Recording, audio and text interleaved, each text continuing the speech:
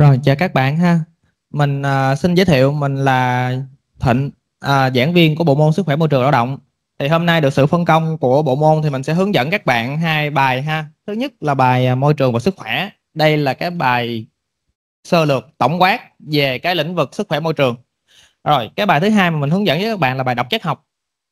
À, đây là hai cái bài mà mình nghĩ là các bạn à, nên nên xem qua. Tại vì sau này nếu như các bạn có học về quản lý y tế thì cái lĩnh vực về sức khỏe môi trường này là một trong những cái lĩnh vực rất là quan trọng để các bạn học về quản lý y tế ha. Bây giờ hiện nay thì có chuyên khoa hai quản lý y tế nhưng mà tương lai thì ờ, sẽ có uh, những cái khác. Chuyên khoa 2 thì uh, tương lai nó sẽ không còn chuyên khoa một chuyên khoa hai nữa. Nên là nếu như mà sau này có một cái uh, lĩnh vực nào đó mà về quản lý y tế thì uh, sức khỏe môi trường cũng là một trong những cái rất là quan trọng ha. Rồi, vậy thì mình nói sơ qua một số những cái nội dung liên quan tới à, bài học thực hành. Tại vì mình là quản lý thực hành ở dưới Bình Chánh nên là các bạn đi xuống Bình Chánh học thực hành thì chắc chắn là các bạn sẽ gặp mình rất là nhiều. Tại mình là trực ở dưới Bình Chánh suốt. Thì trong cái học phần dưới Bình Chánh thì các bạn sẽ có 8 buổi với bộ môn mình. À, trong đó các bạn sẽ học hai buổi của thầy Khiêm, à, một buổi của thầy Viên, à, còn lại là một buổi của cô Vi và ba buổi còn lại là ba buổi của mình. Thì trong đó mình sẽ hướng dẫn các bạn hai buổi học thực hành và một buổi dắt các bạn đi tham quan cũng như quan trắc các môi trường xung quanh cái khu vực trung tâm xét nghiệm y khoa. Cuối cùng là một buổi thi. Thì uh, về cơ sở nha các bạn uh, nội dung liên quan tới thực hành thì theo quan điểm của mình mình sẽ ôn tập mình sẽ nhấn mạnh những nội dung nào đó mà nó trọng tâm của bài. Thì mình sẽ hướng dẫn các bạn. Thì đi thi với các bạn uh, các thầy cô khác thì mình không biết sao nhưng mà riêng mình đó thì là 80% những gì trọng tâm mình sẽ ôm cho các bạn thì nó sẽ nằm ở trong cái phần thi. Còn lại 20% còn lại nó sẽ rải rác ở khắp các slide. Đối với phần lý thuyết cũng vậy ha. Những phần nào mình nhấn mạnh những phần nào mình nói trọng tâm thì các bạn nên highlight lại. Đó là phần quan trọng của bài. Và những nội dung thi thì mình sẽ thường cho trong cái phần trọng tâm đó. Còn lại thì à, để phân loại sinh viên thì à, mình hay cho những cái còn lại trong slide thì lát nữa các bạn sẽ à, tham khảo cái nội dung của bài mình. À, thường thì những cái đề thi bắt đầu từ học kỳ 2 năm rồi thì những đề thi sẽ phụ thuộc vào cái số tiết của cái bài đó trên giảng đường. Có nghĩa là bài đó bao nhiêu tiết thì số lượng câu hỏi sẽ tương ứng.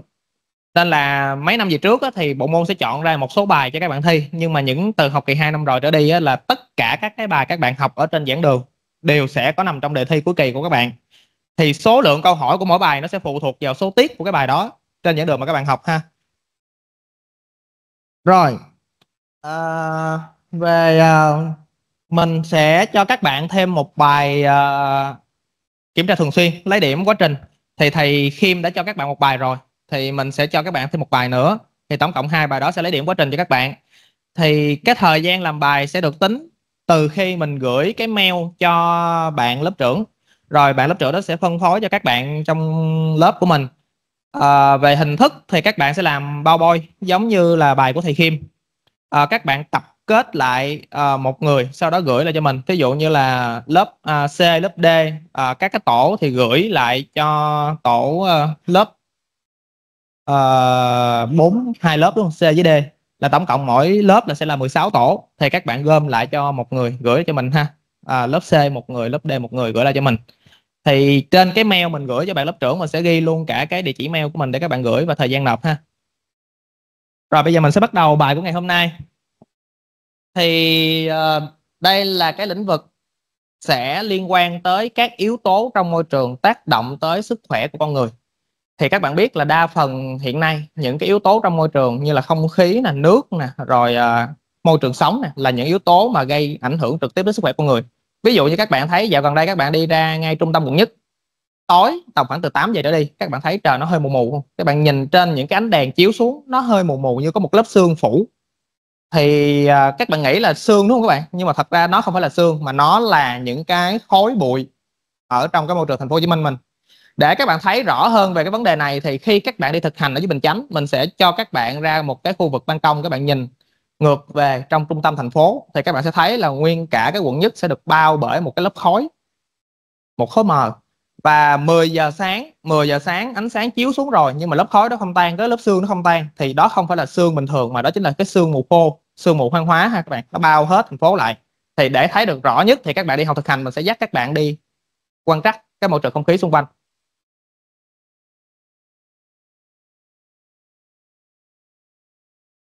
Rồi mục tiêu của bài này là gì? Mục tiêu của bài này um, đơn giản thôi. Các bạn chỉ cần hình dung được cái lĩnh vực sức khỏe môi trường là gì và một số các khái niệm ở trong nó. Cũng như là những cái khái niệm mới mà được cập nhật ở Việt Nam ha. Thì lát mình sẽ nói cho các bạn những cái nội dung này. Rồi bây giờ mình sẽ nói về cái luật. Thì ờ, đối với cái lĩnh vực sức khỏe môi trường này thì các bạn nhớ ha, trong cái bộ môn của mình là sức khỏe môi trường và lao động, thì nó sẽ có hai cái yếu tố. Thứ nhất là môi trường và thứ hai là môi trường lao động. Thì những cái liên quan tới sức khỏe môi trường thì sẽ do bộ tài nguyên môi trường quản lý. Còn những cái mà liên quan tới sức khỏe môi trường lao động là sẽ do bộ y tế quản lý. Các bạn nhớ cho mình hai cái này. Để khi đi thi thực hành, các bạn sẽ đỡ bị lộn giữa hai cái trạm là trạm môi trường và trạm sức khỏe môi trường lao động. Tại vì khi mà mình cho đề các bạn, những cái liên quan tới sức khỏe môi trường thì nó sẽ nằm ở trong cái trạm môi trường và chắc chắn những cái quy chuẩn, tiêu chuẩn trong cái trạm đó nó sẽ nằm ở trong cái của bộ tài nguyên môi trường. Còn đối với sức khỏe môi trường lao động là sẽ do bộ y tế ban hành. Ví dụ như điều kiện chiếu sáng như thế nào là phù hợp cho cái việc học tập của các bạn. Ở trên giảng đường này, tối thiểu ở Việt Nam mình quy định là phải là 300 lít. Rồi đơn vị đo ánh sáng và phương pháp đo như thế nào thì mình sẽ hẹn các bạn vô cái buổi thực hành ha. Rồi, vậy thì các bạn nhớ cho mình, hiện nay ở Việt Nam hiện hành nhất bây giờ, đó chính là cái luật bảo vệ môi trường năm 2020 thì các bạn nhớ cho mình ha, đang xài cái luật này. Và tất cả những yếu tố trong môi trường, đánh giá môi trường con môi trường có bị ô nhiễm hay không, vấn đề, những vấn đề liên quan tới môi trường sẽ dùng cái luật bảo vệ môi trường này để mà chúng ta xử lý. Rồi, bây giờ mình sẽ nói về khái niệm sức khỏe. Thì bây giờ các bạn biết là trên thế giới nó sẽ có hai cái luồng, hai cái ý kiến về cái sức khỏe, hai cái nhận định về sức khỏe một cái nhận định liên quan tới là sức khỏe là một cái yếu tố mà nó sẽ liên quan tới không chỉ là cơ thể không bị bệnh mà nó còn phải là cuộc sống tinh thần rồi những cái sức khỏe liên quan tới tinh thần rồi môi trường xung quanh nó phải được đảm bảo. Và thứ hai một cái luồng ý kiến thứ hai đó chính là sức khỏe chỉ đơn thuần là cơ thể không bị bệnh. Nếu như con người bị bệnh thì bác sĩ sẽ là người chữa bệnh cho con người. Đó là hai cái luồng ý kiến. Và tổ chức y tế thế giới đã kết luận rằng á, là sức khỏe nó không chỉ là cơ thể không bị bệnh không, mà tinh thần nó cũng phải thoải mái và môi trường sống nó cũng phải được đảm bảo, thì nó mới gọi là một cái sức khỏe toàn diện. Thì đây là cái kết luận cuối cùng của tổ chức y tế thế giới vào năm 1948 ha. Vậy thì, trong cái sức khỏe mà tổ chức y tế thế giới đã được kết luận, thì nó sẽ gồm có ba yếu tố. Thứ nhất là sức khỏe về cái thể chất của con người. Thứ hai là sức khỏe về tinh thần và thứ ba là sức khỏe xã hội, có nghĩa là những cái yếu tố trong môi trường xã hội tác động tới con người.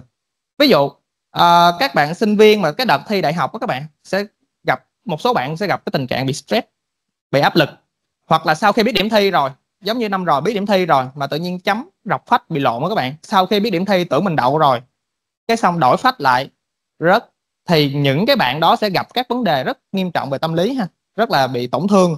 Thì đó là một trong những cái ảnh hưởng tới sức khỏe tinh thần.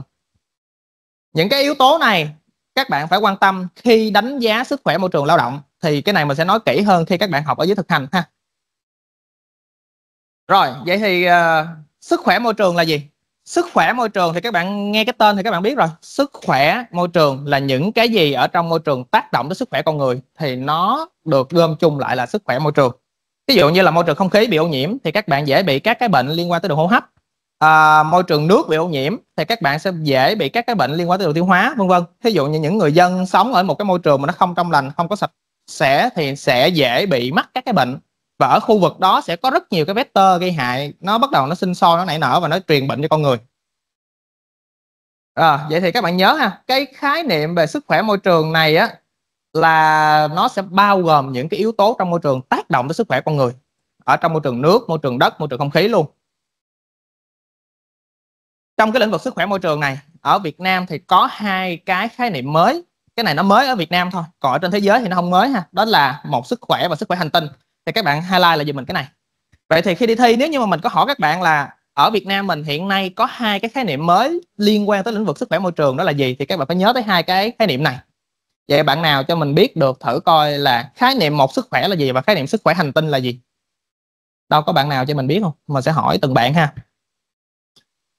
À, đâu bạn nam? Cho mình biết thử coi khái niệm một sức khỏe là gì theo bạn hiểu là gì.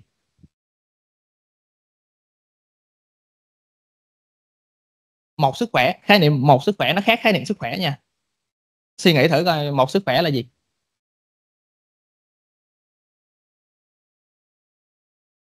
Rồi sức khỏe của một cá nhân. Các bạn nào có ý kiến khác không? Rồi vậy thì các bạn uh, suy nghĩ ha. Khái niệm về một sức khỏe là gì? Một sức khỏe đó chính là tất cả những cái lĩnh vực tất cả những chuyên gia trong nhiều ngành khác nhau cùng phối hợp với nhau để giải quyết một vấn đề về sức khỏe mình lấy ví dụ uh, những cái lĩnh vực ví dụ như là cái đợt cúm AH5N1 các bạn thì để giải quyết được cái vấn đề liên quan tới cúm AH5N1 chúng ta cần phải có sự phối hợp của rất nhiều những cái ngành khác nhau. Thú y là một nè bác sĩ là hai nè rồi quan trắc môi trường là ba nè rồi kiểm soát dịch là bốn nè.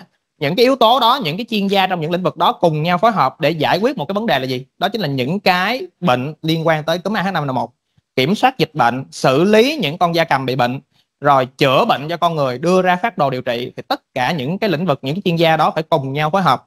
Chứ nếu như một mình bác sĩ không có thể ngăn ngừa được dịch trong các bạn? Có thể chữa được hết bệnh cho con người, nhưng mà dịch ở bên ngoài cộng đồng nó vẫn lan ra.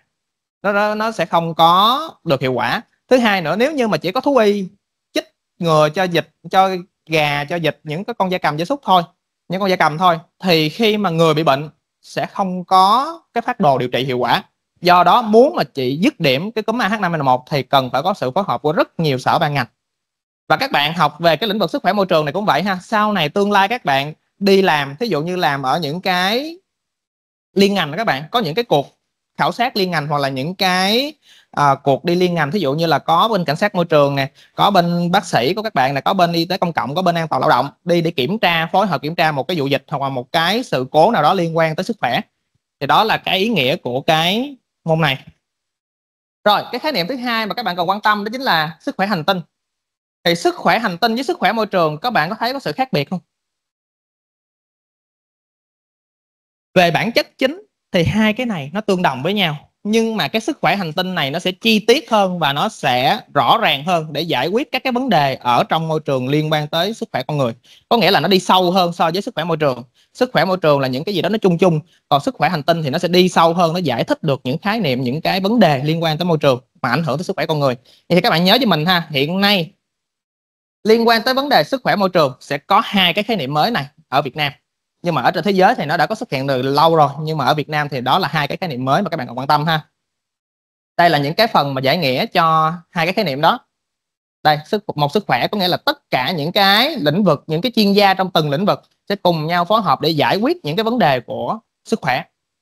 Còn sức khỏe hành tinh thì nó tương tự như sức khỏe môi trường, nhưng mà nó sẽ giải thích một cách rõ ràng hơn những cái yếu tố trong môi trường, nhưng trong tự nhiên tác động tới sức khỏe con người và đưa ra những cái biện pháp, những cái giải pháp ha vậy thì môi trường sống chúng ta phân loại như thế nào? Chúng ta sẽ gồm có ba loại ha. Đó là môi trường tự nhiên môi trường xã hội và môi trường nhân tạo. Thì ba cái môi trường này nó sẽ tác động tới sức khỏe con người. Nó sẽ tác động tới sức khỏe thể chất nó sẽ tác động tới sức khỏe tinh thần và nó sẽ tác động tới sức khỏe của toàn xã hội. Ví dụ trong môi trường tự nhiên mà bị ô nhiễm thì chắc chắn gây bệnh rồi thì mình không nói ha. Bây giờ môi trường xã hội. À, các bạn có nghe dạo này là sẽ có cái vụ là nếu như 30 tuổi mà chưa kết hôn á là nó sẽ gọi là nằm ở trong cái tỷ lệ kết hôn mà gọi là thành phố Hồ Chí Minh mình nó sao ta? À, những người trên 30 tuổi tỷ lệ những người trên 30 tuổi chưa kết hôn rất là nhiều. Và khi những người trên 30 tuổi mà chưa kết hôn đọc vô cái đó thì cảm thấy áp lực đúng không? Thì đó là vô tình một cái áp lực ở trong xã hội tác động lên những người trẻ. Hoặc là à, về cái um, lúc mà các bạn đi thi đại học các bạn sẽ cảm thấy rất là áp lực mà khi mà các bạn thi đại học xong các bạn biết điểm xong nếu như các bạn đậu rồi thì mọi thứ nó sẽ không có vấn đề gì. Nhưng mà các bạn không đậu các bạn rớt thì những cái ánh mắt nhìn của hàng xóm dòng họ gia đình đổ vô các bạn. Thì đó là những cái trong môi trường xã hội tác động lên các bạn.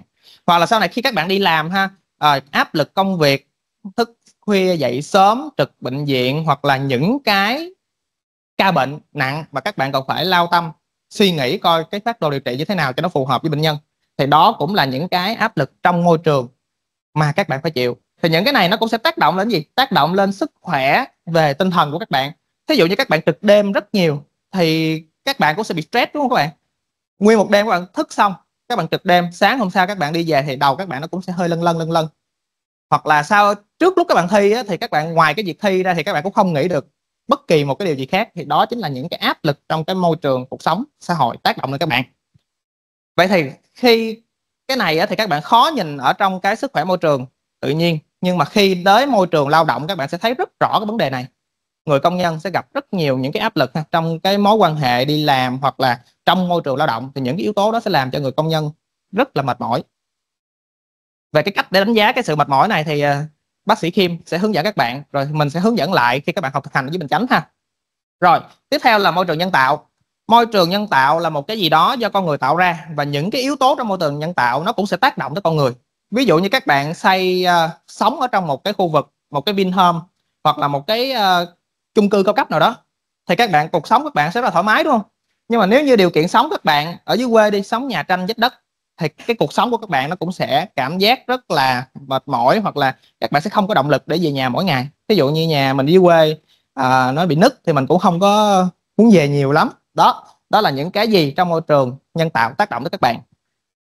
Và đôi khi các bạn các bạn nhìn thấy một cái thành phố nó phát triển như thế này, nhưng mà các bạn thấy không? Không có một cái bóng cây xanh.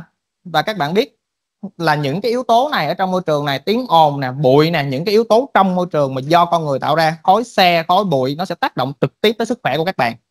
Vậy thì các cái yếu tố này nó sẽ tác động trực tiếp tới con người. Nên các bạn cần phải học cái môn này để kiểm soát những cái yếu tố đó ha rồi, chúng ta phân loại dựa trên các yếu tố tự nhiên. Thì nếu yếu tố tự nhiên thì nó sẽ gồm có ba nhóm. Thứ nhất là vật lý, thứ hai là hóa học, thứ ba là sinh học. Vậy nếu như trong đề thi mà mình cho các bạn thì mình hỏi là trong môi trường tự nhiên gồm có các yếu tố nào? Thì các bạn nhớ gì mình ba cái yếu tố này. Yếu tố vật lý là gì? Ví dụ như các bạn ra đường mỗi sáng, ánh nắng mặt trời chiếu cho các bạn. Nắng sáng tốt, nhưng mà thí dụ nắng 12 giờ trưa chiếu vô da các bạn mà các bạn không găng tay, không áo khoác, không kem chống nắng thì các bạn sẽ bị tác động, ảnh hưởng đến sức khỏe, đúng không? Rồi, yếu tố hóa học chỉ cần các bạn dừng xe lại ở đèn xanh đèn đỏ thôi là các bạn hít rất nhiều khói do bô xe nó thải ra. Yếu tố sinh học. Yếu tố sinh học thì trong khu vực sống của các bạn, nếu như mà nó bị nấm mốc thì trong những cái nấm mốc đó nó sẽ phát tán bào tử bay ra. Thì các bạn hít phải những cái nấm mốc đó, các bạn tiếp xúc với những con vi sinh vật trong môi trường không khí thì đó là yếu tố sinh sinh học và nó cũng sẽ tác động trực tiếp đến sức khỏe các bạn. Rồi, một cái nữa là chúng ta có thể phân loại dựa trên những cái tác động của con người những cái tác động của môi trường tới con người ha, như là các bạn thấy cái bão Yagi vừa qua, nó tác động trực tiếp lên cuộc sống, đời sống, tính mạng, sức khỏe của người dân ở miền Bắc. Rất là những cái yếu tố thời tiết cực đoan này đang diễn biến rất là khó lường ha. Thì theo như xưa giờ thì miền Trung là một cái nơi mà dễ bị bão nhất. Nhưng mà dạo gần đây các bạn khi mà bão mà nó về miền Bắc hoặc bão nó xuống miền Nam, thì cái thiệt hại nó gây ra lớn hơn so với miền Bắc ở miền Trung. Tại sao? Tại vì người miền Trung đó các bạn, năm nào cũng có bão vô, nên là người ta có kinh nghiệm để phòng chống bão rất là tốt.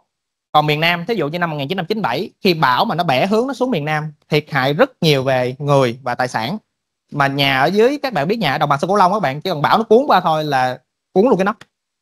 Thì năm đó là bão rất lớn ha xuống miền Nam các bạn nào thử tìm thông tin thì các bạn sẽ thấy là bão về miền Nam năm 1997 rất là lớn. Hoặc là cái bão Yagi ở miền Bắc cũng vậy. Người dân miền Bắc thì xưa giờ nghỉ ở những cái khu vực mà phía miền Bắc đó các bạn, ít khi nào có bão lắm. Nên là cái khả năng chống lại hoặc là phòng ngừa các cái sự cố do bão xảy ra thì nó không bằng người dân miền Trung ha. Rồi, vậy thì kết luận lại là môi trường thiên nhiên, nó sẽ tác động trực tiếp tới sức khỏe con người cũng như là ảnh hưởng tới các hoạt động xã hội, hoạt động sinh sống, sản xuất của các bạn ha. Do đó, nếu mà chúng ta kiểm soát được tất cả các yếu tố này, thì con người sẽ phát triển một cách bền vững hơn, khỏe mạnh hơn và không có bị ảnh hưởng bởi những cái yếu tố này. Rồi, môi trường xã hội. Như nãy mình nói rồi, môi trường xã hội đó chính là những cái mối quan hệ của các bạn ở trong cuộc sống, những cái tương tác giữa người với người thí dụ như là một cộng đồng đi một cộng đồng du học sinh ở nước ngoài thì những người trong cái cộng đồng đó sẽ tương tác với nhau sẽ hỗ trợ giúp đỡ lẫn nhau. Còn thí dụ như là uh, mối quan hệ giữa công ty một công ty và một công ty đối lập thì đó là mối quan hệ cùng nhau cạnh tranh để phát triển. Đó là những mối quan hệ trong xã hội. Và đôi khi những cái mối quan hệ này nó sẽ tác động trực tiếp tới sức khỏe tinh thần của các bạn. Ví dụ như là các bạn coi những cái bộ phim đó đã đi ký hợp đồng thương trường là chiến trường các bạn. Ký hợp đồng xong thì những cái người đó cũng phải lên kế hoạch làm sao để ký được hợp đồng rồi mời ăn mời uống vân vân. Thì những cái yếu tố đó nó cũng sẽ làm cho các bạn bị gánh nặng về trí óc. Những cái người mà làm kinh tế những người làm kinh doanh thì rất nặng về trí óc ha để coi coi là hướng phát triển công ty mình như thế nào. Dự đoán tình hình tương lai ra sao thì những cái đó nó cũng sẽ ảnh hưởng tới sức khỏe tinh thần của các bạn. Một cái điển hình duy nhất thôi khi các bạn đi làm các bạn gặp áp lực về nhà các bạn hay dễ nổi quạo với người thân của mình. Các bạn thử chú ý coi đúng không? À, ba mẹ các bạn khi đi làm về áp lực mà các bạn lại các bạn nhèo nhèo nhèo là thế nào lát cũng bị la đó là những cái ảnh hưởng từ yếu tố xã hội tới sức khỏe tinh thần của con người. Và các bạn sẽ thấy rất rõ cái điều này ở trong cái bài đánh giá về gánh nặng về trí óc ha. Mình sẽ hướng dẫn uh, với các bạn ở dưới bình chánh kỹ hơn. Rồi những yếu tố trong môi trường nhân tạo thì nếu như các bạn sống ở một cái khu vực như thí dụ như là khu vực trong hình này có những cái điều kiện xã hội rất tốt có những cái công trình cơ sở vật chất rất tốt thí dụ như thành phố Hồ Chí Minh mình người dân tập trung về nhiều do đâu? Do là đây là một trung tâm kinh tế tài chính có nhiều cơ sở vật chất. Trường đại học cũng hiện đại cũng rất là xịn đường phố thì rất là rộng lớn xe cộ thì rất là nhiều. Nhưng mà những cái yếu tố đó nó lại kéo theo cái việc ô nhiễm môi trường rất lớn. Thì nên là những cái yếu tố môi trường nhân tạo này nó sẽ có hai mặt ha. Vừa đáp ứng cái nhu cầu cuộc sống cho con người nhưng mà cũng tạo ra những cái vấn đề cho sức khỏe của con người. À, thí dụ mỗi sáng các bạn đi đường cộng hòa kẹt xe chạy từ đường cộng hòa vô lại trung tâm thành phố hồ chí minh ngay quận nhất thôi là nó kẹt cứng luôn. Các bạn đi học mà các bạn canh giờ không kỹ là các bạn sẽ bị kẹt xe. Đó nếu như mà nhà các bạn xa ha. Thì tương lai cũng vậy ha các bạn đi xuống bình chánh. Các bạn nhớ khi đi bình chánh các bạn cẩn thận giùm mình tại vì từ ở quận 10 mình xuống bình chánh nó sẽ đi qua một cái khúc ngay chỗ quốc lộ 1A và xe lớn rất nhiều. Ở trong trung tâm thành phố thì à, ban ngày á, xe lớn nó sẽ không vô nhưng mà ở đường quốc lộ thì xe container chạy rất nhiều nên là các bạn đi ngay khu vực đó nên cực kỳ cẩn thận mấy năm trước đó các bạn à, lúc mà mình à, đi dạy các bạn mình thấy có mấy bạn sinh viên trường mình đi đường đá những cái cục đá xanh đó các bạn thắng xe thì bị té.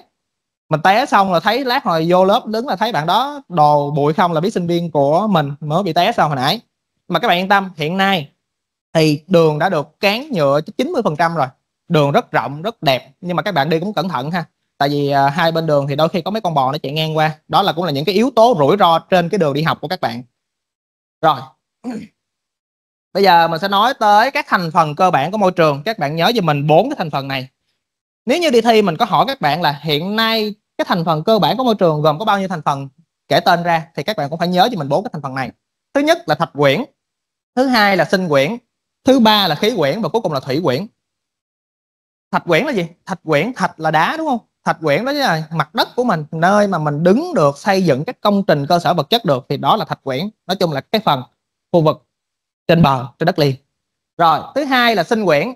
Sinh quyển là gì? Là tất cả các sinh vật sống trong tất cả các môi trường. Thí dụ như trong môi trường không khí, có không? Có. Các con chim, những loài động vật biết bay nó sẽ bay, như con bướm con ong nó bay trong môi trường không khí thứ hai là sinh quyển trong môi trường nước thì có không? Có. Hệ sinh thái với nước, cá, tôm, rồi những ờ, hệ sinh thái ở khu vực biển nó khác, hệ sinh thái ở khu vực sông ngòi nó khác, nước lợ nó khác, thì đó là sinh quyển. Rồi trong lòng đất có không? Có luôn. Có một cái hệ sinh thái trong lòng đất, vi sinh vật ở trong lòng đất, những cái con trùng, con giun trong lòng đất, thì đó là sinh quyển, là bao gồm tất cả các sinh vật ở trong các cái môi trường. Rồi, khí quyển. Khí quyển là những gì mà ở trong môi trường không khí?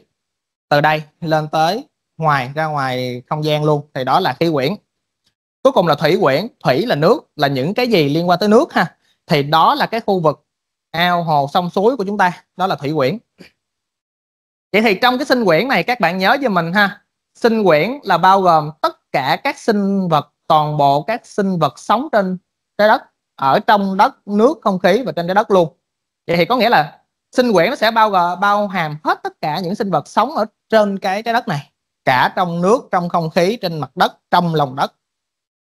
Và ở mỗi một cái môi trường sẽ có những cái hệ sinh thái khác nhau. Cái này thì các bạn coi kỹ trong cái bài của cô Vi ha. Cô Vi có hướng dẫn các bạn về liên quan tới bài hệ sinh thái ha. Có không ta? Ừ. rồi.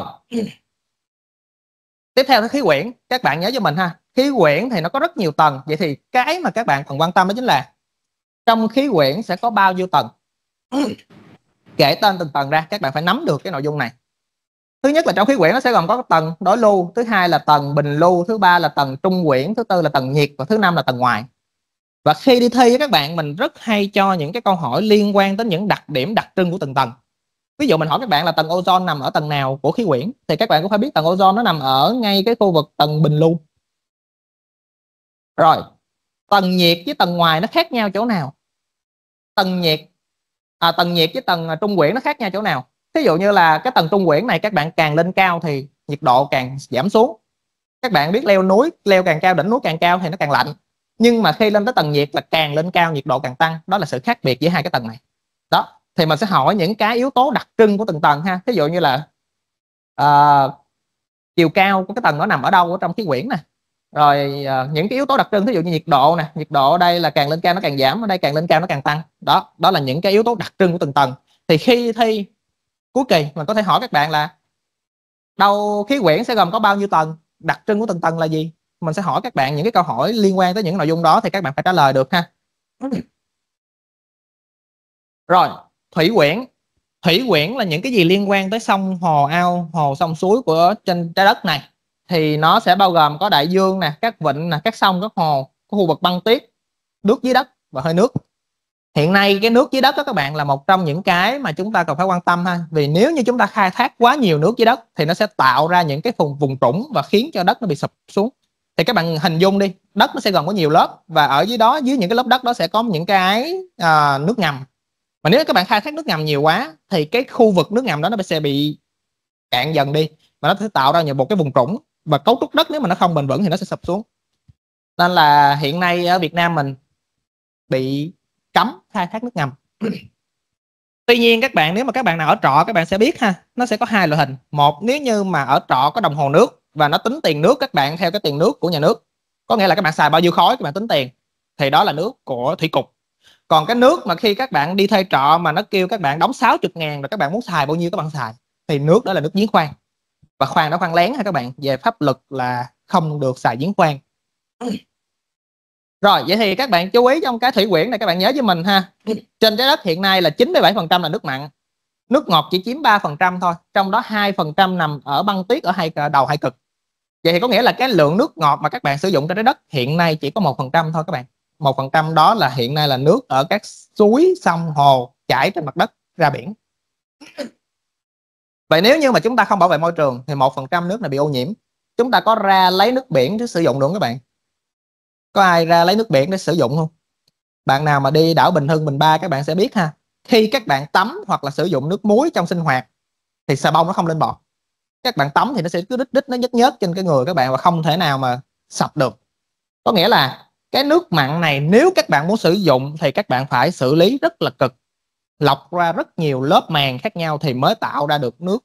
Và cái chi phí mà để tạo ra cái nước ngọt từ cái nước mặn này rất cao. Và thường ví dụ như là áp dụng trong quân đội ha, gắn những cái hệ thống đó trên cái tàu chiến để mà ở ngoài biển các bạn. Chiến đấu dài ngày thì người ta lọc nước biển tạo thành nước ngọt và cái lượng nước ngọt tạo ra rất là ít. Còn ở những cái khu vực đảo ở Việt Nam các bạn, ở những cái nhà vàng, những nhà vàng khoan đó các bạn, thì những người ở đó là cái nước tắm các bạn, tắm xong phải hứng lại dùng cái nước đó có thể để giặt đồ hoặc là để tưới cây, tưới tiêu trên khu vực ở trên cái giàn khoan đó. Vì vậy nước rất là khan hiếm ha. Hoặc là cái vấn đề về nước này cũng đang là một trong những cái vấn đề rất là nghiêm trọng ở Việt Nam, đặc biệt đồng bằng sông Cửu Long. Khi các bạn học địa lý ngày xưa các bạn thì luôn luôn có một cái câu là sông ngòi ở đồng bằng sông Cửu Long là sông ngòi kênh rạch chằng chịt bạn nào đi thi mà liên quan tới địa thì các bạn sẽ biết câu đó luôn luôn sẽ có nhưng bây giờ các bạn biết ở đồng bằng sông Cửu Long sông ngòi rất chằng chịt nhưng người ta không sử dụng được nước đó để sinh hoạt tưới cây sản xuất do nước bị nhiễm mặn. Có rất nhiều yếu tố bị nhiễm mặn. Thứ nhất là thượng nguồn xây rất là nhiều đập nước và người ta chặn nước ở trên thượng nguồn lại khiến cho nước về đồng bằng sông Cửu Long nó ít lại. Thứ hai là tình hình nước biển dân. Nước dân lên thì nước biển nó sẽ tràn ngược vô các con sông. Và khi nước biển nó tràn vô sông nó sẽ làm thay đổi hết nguyên cái hệ sinh thái của, của cái khu vực đó. Nước đang ngọt nước biển tràn vô thành nước lợ. Nước lợ thì những sinh vật mà nước ngọt nó sẽ không sống được, nó chết.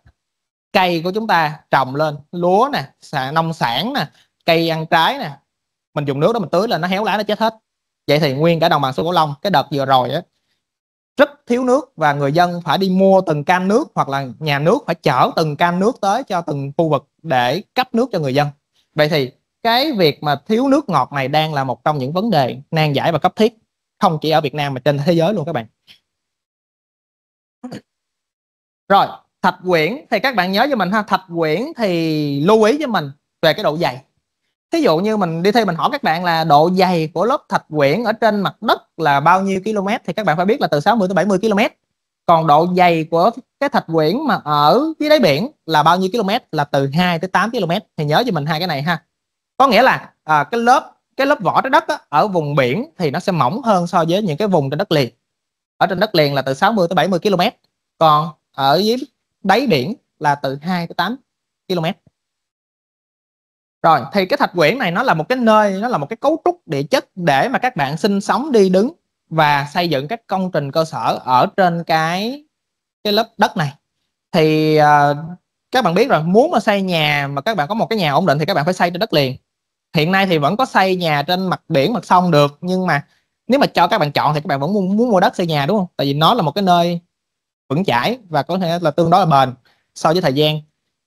À, mặc dù là tương lai các bạn có những cái lớp địa chất nó thay đổi những lớp địa chất này nó chồng lên những lớp địa chất kia nó sẽ thay đổi cấu trúc đất thay đổi cái diện tích đất thạch quyển này. Nhưng mà hiện nay thì thạch quyển này thì vẫn là một cái nơi để các bạn xây dựng những cái công trình cho phục vụ cho cuộc sống của con người ha rồi sinh quyển thì nãy mình nói rồi ha. Các bạn uh, hiểu một cách đơn giản sinh quyển là sinh vật sống trong tất cả các cái môi trường hồi nãy giờ mình nói với các bạn. Vậy thì liên quan tới sinh quyển thì các bạn hồi xưa các bạn học sinh lớp 9 hoặc là các bạn học sinh lớp 12 các sẽ có cái những cái khái niệm này ha. Nó sẽ gồm có hệ sinh thái nè quần xã quần thể và cá thể. Cái này mình chép vô trong cái mát xong mình cắm vô đây thì nó bị lỗi phong. Có gì mình chỉnh lại mình sẽ gửi slide cho các bạn sau ha. Vậy thì nó sẽ bao gồm có gì? Cá thể cá thể là cái đơn vị nhỏ nhất của sinh vật, của một cái cộng đồng sinh vật. Ví dụ như một cá thể là một đơn thể của một cái loài nào đó. Rồi, sau nhiều cá thể sẽ tạo thành quần thể quần thể sinh vật đó. Và nhiều quần thể sẽ tạo thành quần xã và nhiều quần xã sẽ tạo thành nguyên một cái hệ sinh thái. Và các bạn biết là ở mỗi khu vực khác nhau sẽ có những cái hệ sinh thái khác nhau. Ví dụ như hệ sinh thái của sa mạc nó khác, hệ sinh thái của rừng mưa nhiệt đới nó khác, hệ sinh thái của khu vực đồng bằng nó khác, mà hệ sinh thái của khu vực cao nguyên vùng núi nó sẽ khác. Điển hình Đà Lạt với thành phố Hồ Chí Minh là các bạn thấy là cái không khí, cái bối cảnh, cái cảnh vật nó đã khác nhau rồi. Thì đó là những cái đặc trưng của những cái hệ sinh thái ha. Vậy thì chức năng của môi trường là gì? Môi trường nó có rất nhiều chức năng và các bạn biết là nó sẽ là một cái không gian sống cho con người và sinh vật. Có nghĩa là tất cả các loài sinh vật nó đều sống trong môi trường. Nó phải cần có môi trường để sống những cái yếu tố đặc trưng của từng loài nó sẽ khác nhau nhưng mà con nào nó cũng sẽ cần môi trường hết. Ví dụ như con cá thì nó cần môi trường nước. Nó cần oxy hòa tan trong nước nó sẽ cần thức ăn ở trong môi trường nước. Thì con người cũng vậy cũng sẽ cần có một cái nơi để ở cũng sẽ cần có một công việc để làm. Thì những cái đó liên quan tới môi trường. Rồi. Thứ hai nó là nơi chứa các nguồn tài nguyên cần thiết cho đời sống của con người. À, dầu mỏ nè khoáng sản nè kim loại quý nè vàng bạc kim cương đá quý khai thác lên hoặc là những cái đất hiếm để sản xuất ra các con chip điện tử hiện nay. Uh, Snapdragon uh, 8 Gen 1, 8 Gen 2, 8 Gen 3 hoặc là những con chip mới bây giờ thì cũng cần những cái kim loại quý và đất hiếm để mà tạo ra. Thì đó là những cái nguồn tài nguyên mà môi trường cung cấp cho con người. Nhưng mà nguồn tài nguyên đó thì không không phải là vô hạn. Nên nếu như chúng ta khai thác một cách bừa bãi sử dụng một cách bừa bãi thì tới một giai đoạn nào đó nguồn tài nguyên trên trái đất này sẽ cạn kiệt nên là giờ các bạn hay nghe cái câu là sử dụng nguồn năng lượng tái tạo, thí dụ năng lượng gió, năng lượng mặt trời, vân vân. Thì khi chúng ta sử dụng năng lượng đó thì sẽ đảm bảo được cái nguồn tài nguyên cho con người. Nhưng mà nó lại sinh ra những cái vấn đề khác. Ví dụ như pin mặt trời, các bạn xài ở Mỹ đang có con bão, thì nó cuốn qua một cái thì những tấm pin mặt trời đó nó bị cuốn đi và nó vỡ ra, thì nó phát thải kim loại nặng ra khu vực môi trường xung quanh hoặc là những cái cánh quạt gió đi, những cái điện gió, cánh quạt gió đó, nó làm từ những cái loại vật liệu rất bền và sau khi nó hư rồi, nó không còn sử dụng được nữa, người ta không có cách nào để người ta phân tiêu hủy nó được hết. Người ta đem chôn nguyên cái cánh quạt xuống đất. Vậy thì nó sẽ tới được cái chức năng thứ ba, đó chính là nơi chứa đựng các chất thải phế thải của con người tạo ra trong cuộc sống và sản xuất. Như mà nãy mình nói đó, cái cánh quạt của cái ờ, điện gió các bạn nó rất bền, nó từ vật liệu rất bền và con người không thể xử lý được nó thì con người sẽ chôn còn một cái thứ hai nữa thí dụ như thành phố Hồ Chí Minh mình rác thải chủ yếu đa phần sẽ được chôn lấp ở bãi chôn lấp rác uh, Đa Phước. Và cái bãi chôn lấp rác Đa Phước này nó đang đi tới những giai đoạn cuối cùng của cái thời gian sử dụng nó. Có nghĩa là hiện nay nó đã sắp đầy rồi các bạn nó sắp đầy rồi. Và thành phố Hồ Chí Minh mình đang lên kế hoạch để tìm ra một cái hương hướng một cái giải pháp để xử lý rác thải mới. Các bạn có nghe là hồi xưa có một cái cuộc vận động là phân loại rác tại nguồn không? Có nghĩa là nhà các bạn phân loại ra chai nước rồi à, rác à, thải sinh hoạt rác thải hữu cơ rồi rác thải tái chế. Nhưng mà các bạn thấy nó có hiệu quả không? Người dân mình thì phân loại rất là tốt. Nhưng mà cái vấn đề ở đây là gì? Là cái xe thu gom rác đó, các bạn phân loại ra các bạn để từng loại từng bịch từng bịch từng bịch. Nhưng mà người ta gom rác người ta gom hết đóng lại người ta nhồi vô cái xe nó nó trộn lại nhau. Vậy thì người dân mới thấy là ủa vậy tôi phân loại làm gì? Tôi phân loại đã đời ra xong rồi các cái người thu gom rác cũng gom lại nhồi vô một cái xe rác. Vậy thì cái ý nghĩa của việc phân loại đó nó ở đâu? Các bạn biết Nhật Bản, các bạn một cái chai nước các bạn uống thôi, nó gồm có nắp chai, thân chai và cái nhãn dán. Thì mỗi một cái đó là nó sẽ thu gom riêng. Thứ hai, các bạn thu gom cái gì? Thứ ba, thu gom cái gì? Thứ tư, thu gom cái gì? Màu của túi rác như thế nào? Các bạn chỉ cần để sai thôi, người ta phạt phạt các bạn. Phải làm kỹ như vậy thì mình mới phân loại rác tại nguồn được. Chứ còn hiện nay Việt Nam mình là gom lại, xong ép lại, đem đi chôn ở các bãi lấp chôn lấp hợp vệ sinh nhưng mà các bạn biết chôn rất là nhiều thì nó sẽ gây thứ nhất là mất diện tích. Thứ hai là các bạn biết nó ảnh hưởng rất là nhiều mùi. À, khu Phú Mỹ Hưng ngày xưa cách đây khoảng 10 tới 15 năm về trước là một trong những cái khu vực đô thị mà gọi là sang của thành phố Hồ Chí Minh mình. Nhưng mà các bạn biết tại sao giờ nó hết hot không? Là do có một cái dạo là mùi của bãi rác Đa Phước nó bay ngược lên khu Phú Mỹ Hưng. Bạn nào ở khu vực quận 7 những năm về trước các bạn sẽ biết ha. Có một cái đợt gió nó cuốn cái mùi bay ngược về cái khu Phú Mỹ Hưng cái khu vực mà trường Tôn Đức Thắng rồi khu vực Nguyễn Hữu Thọ các bạn. Mùi rất ghê. Thì đó là khiến cho cái giá với lại cái hot cái độ hot của khu Phú Mỹ Hưng bị giảm xuống. Vậy thì cái bãi rác Đa Phước đó, sau khi nó đóng cửa nó sẽ làm cái gì các bạn? Nó sẽ cải tạo lại cái khu vực trên bề mặt và nó tạo ra những cái công viên những cái khu vực mà sinh hoạt cộng đồng. Ở Hàn Quốc cũng đang sử dụng cái đó ha. Một cái bãi rác của Hàn Quốc sau khi đã tới cái giai đoạn cuối cùng rồi nó sẽ đóng cửa lại và nó sẽ xây dựng nguyên một cái công viên ở trên đó. Và cái công viên nó rất nổi tiếng có rất là có đồi cỏ lao rất là đẹp. Người ta hay tới đó chụp hình.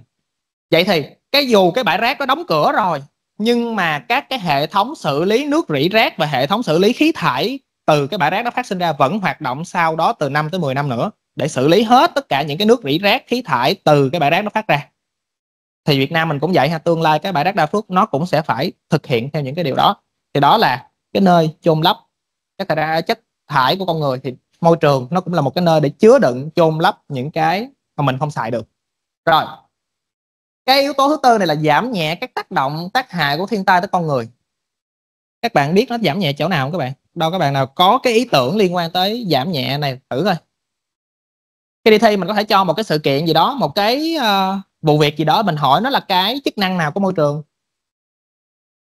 Đâu bạn nào thử cho mình một cái ví dụ liên quan tới giảm nhẹ tác động tác hại của của thiên nhiên tới con người đi. Cái này hầu như bạn nào cũng tiếp xúc thường xuyên hết không biết các bạn nhớ không? À, đâu bạn nam ngồi ở góc đó cho mình biết thử coi giảm nhẹ thì mình sẽ như thế nào?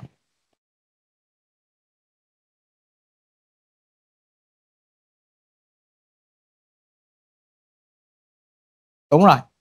Ở những vùng đồi núi mà các bạn trồng nhiều cây cái rễ cây nó sẽ cắm xuống đất nó sẽ tạo thành một cái lớp mà gọi là không cho đất nó bị sạt lở nhưng mà các bạn thấy ở ở thành phố Hồ Chí Minh mình nó cái cây tới mùa mưa mùa, mùa bão là nó lật gốc là sao? Là do mình trồng không đúng quy cách rễ nó không bám xuống được dưới đất thì khi mà gió giông lớn xảy ra thì nó bật gốc. Rồi một cái giảm nhẹ khác nữa là tầng ozone nó sẽ tạo ra một cái màn bao quanh trái đất nó sẽ giảm đi tác động của tia UV tới các bạn. Mà những cái nơi nào bị lũng tầng ozone thì cái tia UV hồi đó nó sẽ cao hơn và nó sẽ tác động mạnh hơn tới da của con người. Hoặc là về cái chỉ thị sinh học hoặc là về các cái yếu tố liên quan tới vi sinh vật đi. Thì cái đợt mà sóng thần các bạn cái đợt sóng thần lớn ở Nhật Bản á, thì trước đó một mấy tháng là có những cái con cá những cái con cá lớn nó sẽ bơi lên trên bờ nó bơi lên trên khu vực sông để nó trốn. Cái đợt đó mình nhớ ở dưới bến lức là có hai con cá lớn hai con cá ong nó bơi từ ngoài biển vô trong cầu bến lức. Là mấy tháng sau là có sóng thần. Hoặc là các bạn nghe người ngư dân ở Việt Nam mình hay có câu là mấy con cá máy chèo các bạn nó bơi lên trên thì thấy con cá đó là chuẩn bị có thiên tai tới người ta nhìn thấy con cá đó người ta sợ lắm.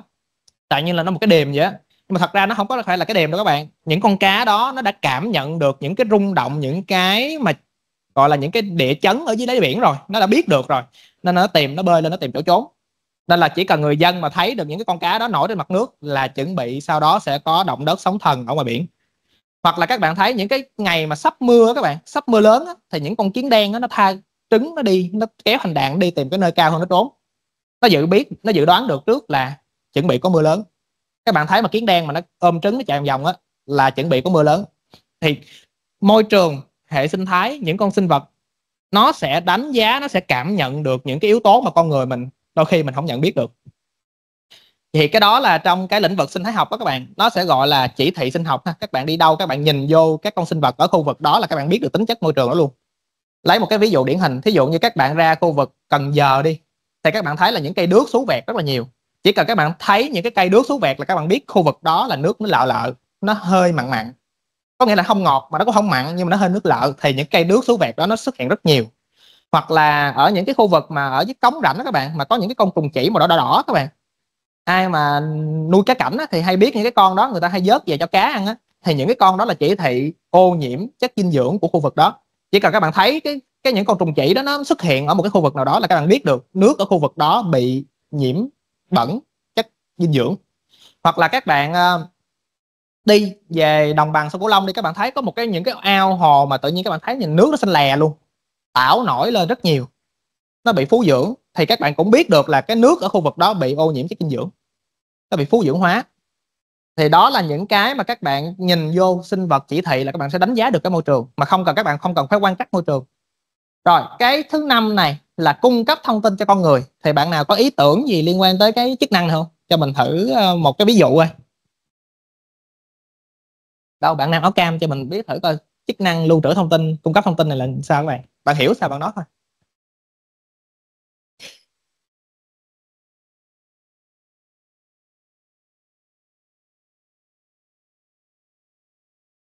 Rồi, chính xác ha.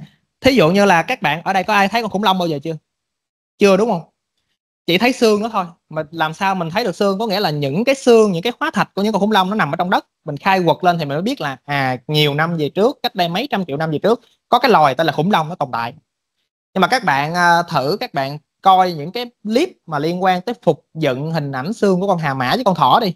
Có nghĩa là con hà mã với con thỏ nó rất dễ thương đúng không? Nhìn nó cũng tròn tròn dễ thương. Nhưng mà khi mà mình lấy bộ xương đó mình phục dựng lại thì nó tạo ra một cái con gì rất là đáng sợ có nghĩa là hình ảnh của con khủng long hiện nay mà các bạn biết á nó chỉ là do con người dựng lại từ cái cú tróc bộ xương đó thôi. Chứ thật ra là đâu có ai thấy được con khủng long thực tế nó như thế nào đâu. Nên là khi các bạn phục dựng lại hình ảnh của một cái con nào đó bằng bộ xương á, thì đôi khi nó sẽ sai lệch với lại thực tế. Đôi khi con khủng long ngày xưa ở trong thực tế nó có lông giống như con hổ hoặc là nó có lông vũ như mấy con chim mình đâu có biết được. Mình chỉ có được bộ xương thôi rồi mình sẽ tưởng tượng thử coi cái bộ xương đó cái con khủng long nó như thế nào thì các bạn về thử coi là cái clip người ta phục dựng cái xương của con hà mã đi. Thì các bạn sẽ thấy là chưa chắc gì những cái hình ảnh các con khủng long T-Rex rồi những con khủng long ba sừng bây giờ nó đúng, nó giống như ngày xưa. Nó chỉ là bộ xương thôi, nên là đôi khi các bạn sẽ không hình dung được thực tế nó như thế nào. Nhưng mà ít nhất thì nó cũng cung cấp được cho con người cái thông tin là à mấy trăm triệu năm trước có cái loài tên là khủng long nó sống. Rồi, hoặc là các cái khu vực như là những cái bộ lạc, những cái bộ tộc mà đã tồn tại, từng tồn tại trên trái đất ví dụ như là những cái cổ thật như là Ai Cập cổ đại vân vân. Thì những cái ở dưới lòng đất đó các bạn khi được khai quật lên những cái lăng mộ khi được khai quật lên thì nó sẽ cung cấp thông tin cho con người là à ngày xưa người ta sử dụng vàng để người ta làm đồ trang sức. Rồi à, người ta sử dụng nhiều cái công cụ mà bây giờ bây giờ thế giới người ta bắt đầu mới nghiên cứu tới nó. Có, có những cái món đồ bây giờ người ta mới nghiên cứu được. Thì đó là những cái thông tin những cái dữ liệu mà chúng ta có thể lấy được từ trong môi trường. Um, rất nhiều loài động vật các bạn, sau khi mà tuyệt chủng rồi, nó sẽ để lại bộ xương trong đất, thì mình sẽ lấy được thông tin của nó ha. Rồi, thì đây là chức năng không gian sống của con người. Thì không gian sống đó các bạn, thì hồi nãy mình nói rồi, nó là nơi để mình xây dựng các công trình cơ sở vật chất phục vụ cho đời sống của con người. Rồi, đây là chức năng cung cấp tài nguyên ha, cung cấp các cái tài nguyên trong nước, trong đất, khoáng sản, không khí, vân vân. Đây là những cái mình mở rộng thêm để các bạn hiểu được những cái chức năng của nó. Rồi, giảm nhẹ tác động của thiên nhiên ha rồi đây là chức năng cung cấp thông tin ví dụ như đây đây là những cái con vật những cái bộ xương của những cái con ở trong cổ đại ha và ở trên thế giới các bạn có những cái người rất là hay thích đi sưu tập những cái hóa thạch của mấy con này các bạn coi trên tiktok đó, lâu lâu các bạn thấy sẽ có những cái người mà lên những cái khu vực có núi lửa và họ tìm những cái cục đá và họ đập ra trong đó có cái được những cái hóa thạch của những cái con này và đôi khi bán rất là nhiều tiền ha những cái con này những cái con sinh vật cổ đại đó đây là hình ảnh chức năng lưu trữ rồi bây giờ mình sẽ nói về khái niệm sức khỏe môi trường ha. Thì hồi nãy mình cũng đã có trên kia rồi. Sức khỏe môi trường là tất cả những cái gì liên quan tới các yếu tố trong môi trường nó sẽ tác động đến sức khỏe của con người. Thì đây coi như là mình nhắc lại thôi. Thì nó sẽ gồm có sức khỏe thể chất, sức khỏe tinh thần và sức khỏe xã hội. Nãy mình đã nói rồi. Vậy thì à, các bạn cho mình biết cái mối quan hệ giữa sức khỏe và môi trường nó như thế nào? Nó có mối quan hệ như thế nào? Đâu bạn nào cho mình biết thử coi cái mối quan hệ giữa sức khỏe và môi trường nó sẽ như thế nào? Đâu bạn nam áo đen cuối lớp. Cho mình biết thử coi là uh, cái mối quan hệ của sức khỏe với môi trường là như thế nào bạn?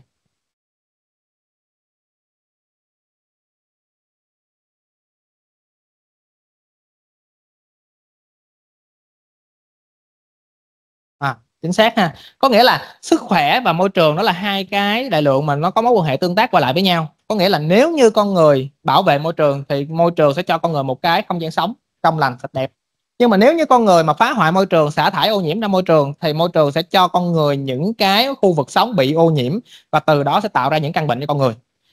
Thì nếu như các bạn mà được sinh sống ở một cái khu vực trong lành, sạch sẽ, thì cái tỷ lệ, cái nguy cơ các bạn mắc các bệnh nó ít hơn so với những cái bạn mà sống ở khu vực những, gần những cái khu vực mà bị ô nhiễm.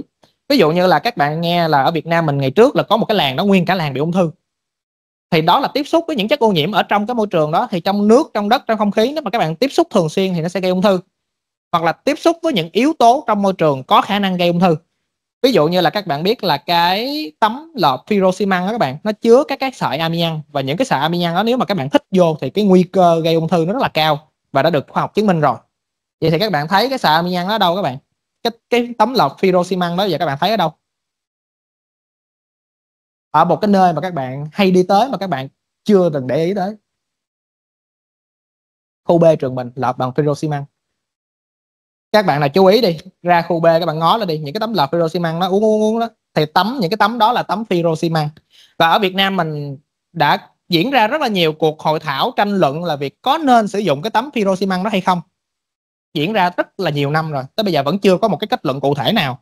Chỉ là theo khuyến cáo là hạn chế sử dụng thôi nhưng mà ở dưới quê á các bạn người ta vẫn xài rất là nhiều. Và khi mà bạn biết dưới quê là nó sẽ có cái lu nước người ta hứng nước mưa rồi nước mưa chảy trên cái tấm phiro xi măng nó rớt xuống cái lu và người ta sử dụng cái nước đó người ta sinh hoạt. Thì cái nguy cơ bệnh rất cao. Thì bạn nào muốn thấy tấm lợp đó thì cứ qua khu B trường mình ha là tấm lợp phiro xi măng đó. Vậy thì có nghĩa là gì? Có nghĩa là các cái yếu tố trong môi trường này nó sẽ tác động trực tiếp tới sức khỏe của con người. Rồi các bạn chú ý cái slide này ha. À, trong cái bài mà quá trình đó các bạn thì có cái tổ một số tổ là sẽ làm phân tích những cái yếu tố trong cái slide này. Thì uh, lát mình sẽ chiếu cái đề lên cho các bạn coi ha. Giữa giữa giờ thì mình sẽ chiếu cái đề lên cho các bạn coi. Thì khi mà mình gửi mail cho bạn lớp trưởng á, thì mình sẽ gửi luôn cái đề và mình sẽ gửi luôn cái yêu cầu của cái đề đó. Các bạn cần phải làm gì mình chấm điểm như thế nào thang điểm ra sao thì mình sẽ gửi hết cho các bạn thì các bạn cứ coi thì các bạn làm ha. Rồi vậy thì vai trò sức khỏe môi trường trong ngành y tế, trong y tế công cộng. Có nghĩa là những yếu tố môi trường, những yếu tố trong môi trường, sức khỏe môi trường nó sẽ đóng góp ý nghĩa như thế nào trong cái lĩnh vực y tế công cộng? Thứ nhất, chất lượng không khí là sao? Chất lượng không khí là môi trường không khí bị ô nhiễm thì nguy cơ mắc các cái bệnh liên quan tới đường hô hấp nó sẽ tăng cao lên. Thí dụ như các bạn đi ngoài đường mà các bạn không đeo khẩu trang thôi, cái đợt covid đó các bạn không đeo khẩu trang thôi là chắc chắn các bạn sẽ bị công an phạt. Đi ra đường, đợt covid mà không đeo khẩu trang sẽ bị phạt nhưng mà ngoài cái phạt đó ra, nếu như các bạn không đeo khẩu trang thì cái nguy cơ các bạn dính covid rất cao. Và đợt đó thì các anh chị, các bạn ờ, đi học thực hành ở bộ môn á các bạn. Có cái máy, gọi là cái máy đo vi khí hậu, cái máy đo vận tốc gió, nhiệt độ độ ẩm các bạn. Thì nó có cánh quạt. Thì mấy anh chị, các bạn vui lắm, mở khẩu trang ra, thổi. Thổi cánh quạt nó quay quay để coi vận tốc gió là bao nhiêu. Thổi xong 10 bạn dính covid, nghỉ hết nguyên tuần. Tới khi học thực hành, mình sẽ cho các bạn cầm cái máy đó chơi thì các bạn bảo đảm một số bạn cũng sẽ cầm nó thổi thôi mình chắc chắn luôn. Đó. Thứ hai thực phẩm sạch đầy đủ dinh dưỡng. Có nghĩa là đây là một trong những cái yếu tố cần thiết và quan trọng để phát triển cơ thể vật chất cơ thể của con người. Có nghĩa là muốn có một sức khỏe khỏe mạnh thì chúng ta cần phải có nguồn dinh dưỡng thực phẩm đầy đủ.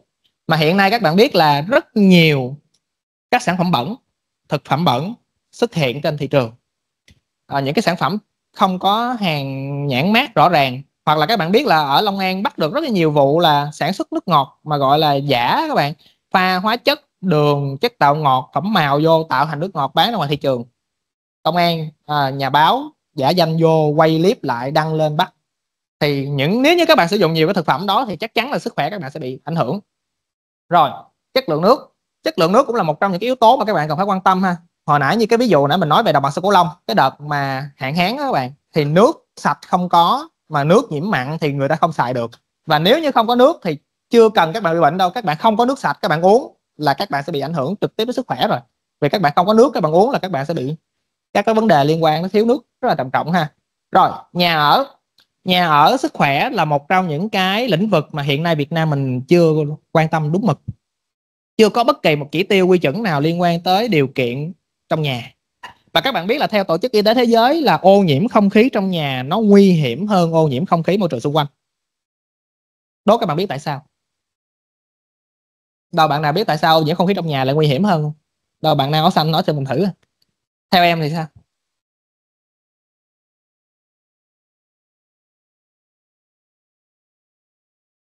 Đúng rồi thì đó là những yếu tố nhưng mà tại sao ở ngoài nó cũng có bụi nó ở ngoài nó cũng khí độc nhưng mà tại sao ô nhiễm không khí trong nhà lại nguy hiểm hơn? Đúng rồi thứ nhất là nó kín thứ hai là các bạn ở thời gian trong nhà nhiều thứ ba là khi các bạn ra đường các bạn biết ở ngoài đường nó có chất ô nhiễm nó có bụi nó có tia uv nó có tất cả các chất ô nhiễm trong môi trường thì ra ngoài đường các bạn sẽ đeo khẩu trang nè đeo kiến chống tia uv nè rồi mang uh, váy chống nắng nè mang găng tay nè thoa kem chống nắng nè vân vân nhưng mà các bạn có bao giờ mà mặc nguyên cái combo đó leo lên giường đi ngủ không? Chắc chắn là không, đúng không? Có nghĩa là ở trong nhà các bạn nghĩ là mặc định trong nhà là nơi an toàn. Và các bạn ở trong nhà, các bạn không có một cái biện pháp nào để các bạn phòng ngừa hết nên là ô nhiễm không khí trong nhà đang là một trong những vấn đề cấp thiết, không chỉ ở Việt Nam mà trên thế giới luôn. Và các bạn có những cái nghiên cứu các bạn, chứng minh được rằng nếu như các bạn ở trong môi trường mà có nhiều máy lạnh thì cái nguy cơ các bạn bị các cái hội chứng nhà ở kính rất là nhiều có nghĩa là đau đầu chóng mặt buồn ngủ hơn. Nếu các bạn à, làm việc ở một cái môi trường mà không có máy lạnh thì cái buồn ngủ nó sẽ ít hơn. Nhưng mà các bạn làm việc ở trong môi trường có nhiều máy lạnh ha không có thông gió thì các bạn sẽ rất là dễ buồn ngủ. Rồi dễ bị các cái bệnh cảm cúm ho. Cái đó là đã có từng có một cái nghiên cứu chứng minh điều đó rồi. Thì uh, nếu như mà có cơ hội mình sẽ nói với các bạn về cái ô nhiễm trong nhà này kỹ hơn ha. Rồi môi trường làm việc. Môi trường làm việc này thì nó sẽ gây ra gì? Gây ra thứ nhất có hai cái vấn đề. Một là tai nạn lao động và hai là bệnh nghề nghiệp bất kỳ một ngành nghề nào nó cũng sẽ có hai cái yếu tố đó tai nạn lao động và bệnh nghề nghiệp. Vậy trong ngành y mình yếu tố đó liên quan tới cái gì các bạn? Đâu bạn nam cho mình thử biết coi là trong ngành y mình thì uh, tai nạn lao động với bệnh nghề nghiệp nó là cái gì?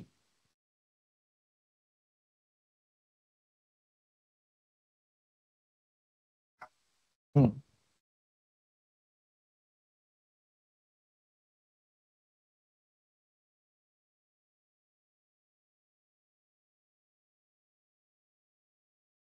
thì uh, trong ngành y mình nó thí dụ như là bác sĩ ở các phòng chụp x quang đi sẽ tiếp xúc nhiều với tia x. Có nghĩa là khi các bạn làm việc dù mặc dù cái phòng chụp x quang nó có các cái tấm chì vách chì để ngăn cái tia x ra nhưng mà cái tác động lên cơ thể vẫn có ha. Nên là các bác sĩ mà phòng chụp x quang sẽ có đeo một cái thẻ để coi coi là ngày hôm đó cái việc hôm đó là tiếp xúc với bao nhiêu tia x. Thứ nhất là để trả tiền về cái độc hại cho các bạn. Thứ hai là để canh thời gian ví dụ như là nếu như cái lượng tia x vô người các bạn đủ thì người ta sẽ điều chuyển công tác bạn đi vị trí khác.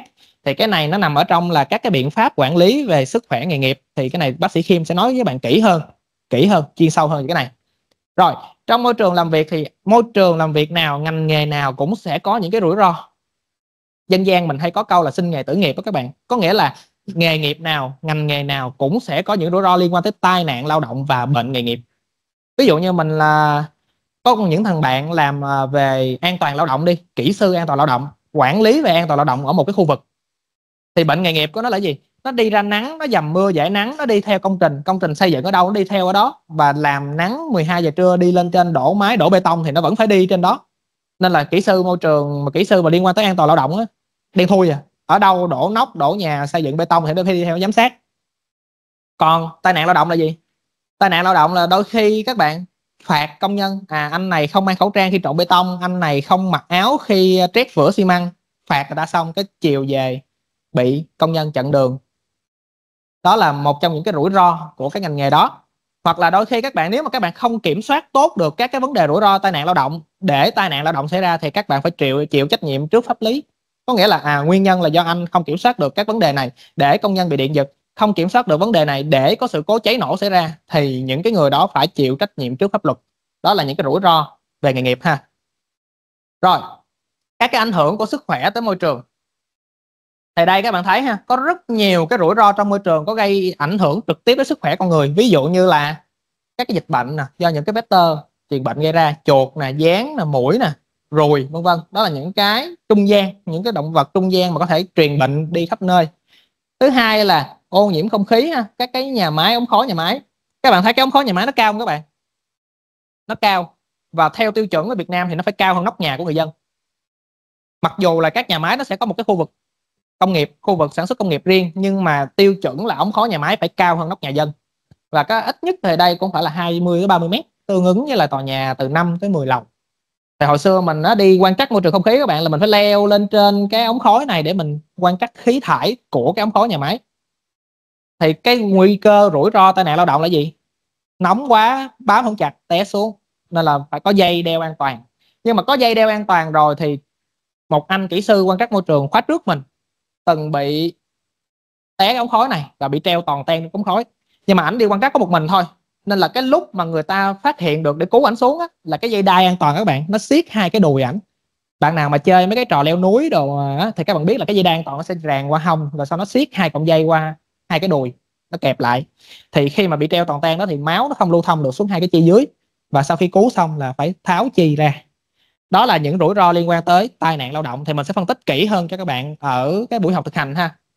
Rồi, cái hình tiếp theo mà các bạn có thể thấy được, đây là hình ảnh của một người nông dân đang ờ, phun thuốc trừ sâu. Thì cái việc phun thuốc trừ sâu này nếu như các bạn làm không đúng theo yêu cầu của bộ nông nghiệp phát triển nông thôn các bạn thì nó sẽ gây ảnh hưởng trực tiếp đến sức khỏe người dân. Ví dụ như là hôm nay xịt ngày mai bán cho rau củ quả nó xanh nó ngon hôm nay xịt ngày mai đem bán ăn vô là dính bệnh. Hoặc là các bạn có nghe từng có là rau nhút hoặc là rau muống rồi đổ nhớt rau nhút rồi đổ nhớt lên để cho nó xanh nó tươi không các bạn? Đó đó là những cái mà xài những cái chất ô nhiễm mà để làm cho cái rau củ quả mình nó tươi hơn. Hoặc là uh, các con tôm các bạn người ta chích thuốc vô chích rau câu với lại thuốc vô để con tôm nó nặng ký hơn để bán được tiền hơn được giá hơn thì những cái đó nó ăn ăn vào nó sẽ ảnh hưởng trực tiếp tới sức khỏe con người. Rồi các cái uh, sạt lở thiên tai bão lũ thì mình uh, gặp rất là nhiều rồi. Điển hình như là cái bão Gia Ghi mới vừa qua. Rồi thiếu nước sạch. Thiếu nước sạch này thì hiện nay các bạn thấy ở đồng bằng sông Long đang là một cái vấn nạn ha. Mỗi lần mà tới mùa khô á, mà chưa có mưa kịp á, thì cái nguồn nước dự trữ người dân nó hết rồi. Thì lúc đó là sẽ thiếu nước và cần phải có những cái xe bồn chứa nước này cung cấp nước cho người dân. Rồi còn cái, những cái vấn nạn ở trên thành phố Hồ Chí Minh mình thì thấy rất là nhiều ha. Kẹt xe, khói bụi, ô nhiễm môi trường không khí, tiếng ồn. Tiếng ồn đó là một trong những cái mà ảnh hưởng trực tiếp tới các bạn. Không biết ở đây có bạn nào mà hay đeo tai nghe không? Đeo hơn 3 tiếng một ngày không? Rồi, hẹn các bạn xuống với bình chánh, mình sẽ phân tích cho các bạn ha các bạn đeo tai nghe nhiều thì nguy cơ các bạn bị giảm thính lực rất cao.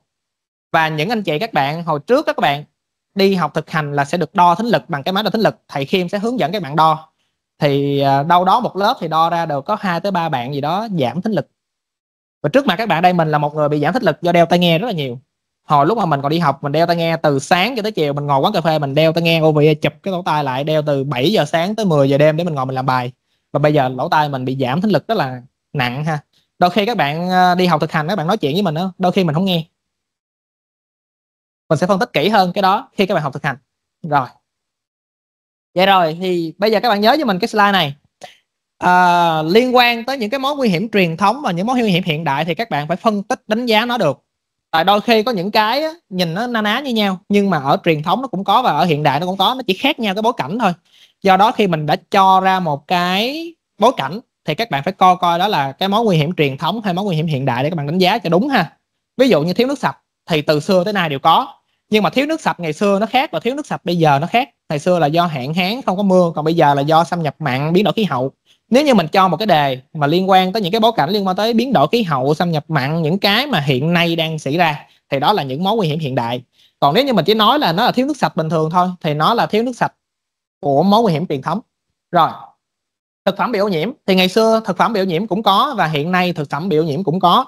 Ngày xưa thực phẩm bị ô nhiễm là gì? Để ôi thiêu lên đem đi bán. Còn hiện nay là gì? Dùng thuốc từ sau phun vô. Do đó các bạn phải coi kỹ coi là cái bối cảnh mình nói đề cập tới đó là ở trong quá khứ hay hiện tại để các bạn đánh giá coi nó là những mối nguy hiểm như thế nào. Vậy khi đi thi á, các bạn gặp câu này thì thường các bạn phải suy luận ha. Nó sẽ không có cụ thể trên bài, nhưng mà nó sẽ dựa vào những cái lý thuyết này để các bạn suy luận ra coi đó là cái mối nguy hiểm truyền thống hay đó là mối nguy hiểm hiện đại rồi ô nhiễm không khí uh, do sử dụng than và các nguyên liệu khác. Ngày xưa các bạn à, chủ yếu là mình đốt đèn cày sử dụng đèn dầu sử dụng than để sưởi ấm. Mà các bạn biết là đâu đó thì hiện nay vẫn còn ha. Tới những cái đợt mà gần tết á, lúc mà rét đậm rét hại ở ngoài bắc á, là đôi khi các bạn hay đọc báo nghe tin là bị ngạt khí than.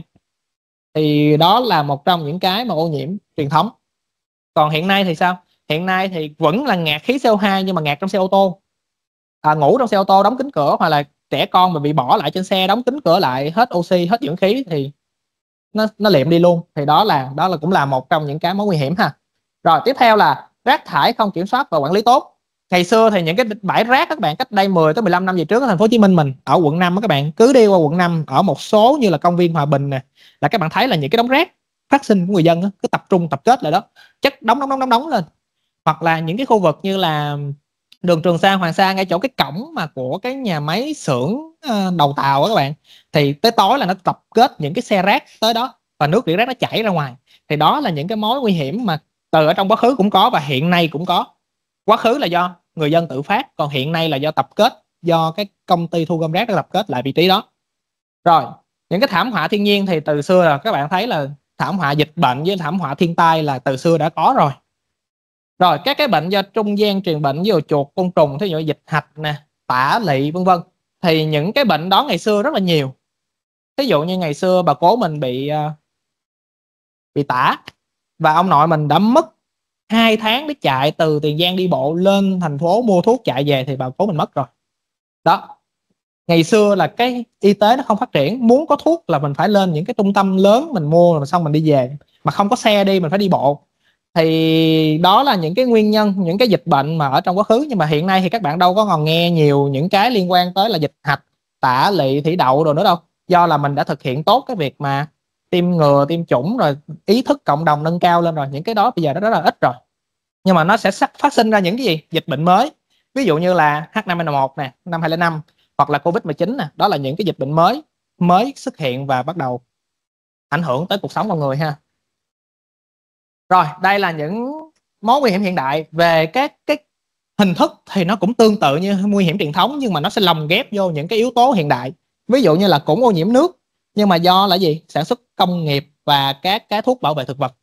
Hoặc là cũng ô nhiễm không khí, nhưng mà ô nhiễm không khí đó là không phải xuất phát do các cái yếu tố như cháy rừng, mà nó là xuất phát từ những cái hoạt động sinh sống của con người bằng các cái phương tiện giao thông thì các bạn coi nếu như mà nó có yếu tố gì đó hiện đại đô thị hoặc là yếu tố công nghiệp gì đó thì nó sẽ là những cái mối nguy hiểm hiện đại. Tiếp theo là các cái chất phóng xạ nè hạt nhân vân vân. Thì bây giờ hiện đại mới có đúng không? Ngày xưa chiến tranh ngày xưa thì đâu có dùng các cái vũ khí hạt nhân đâu.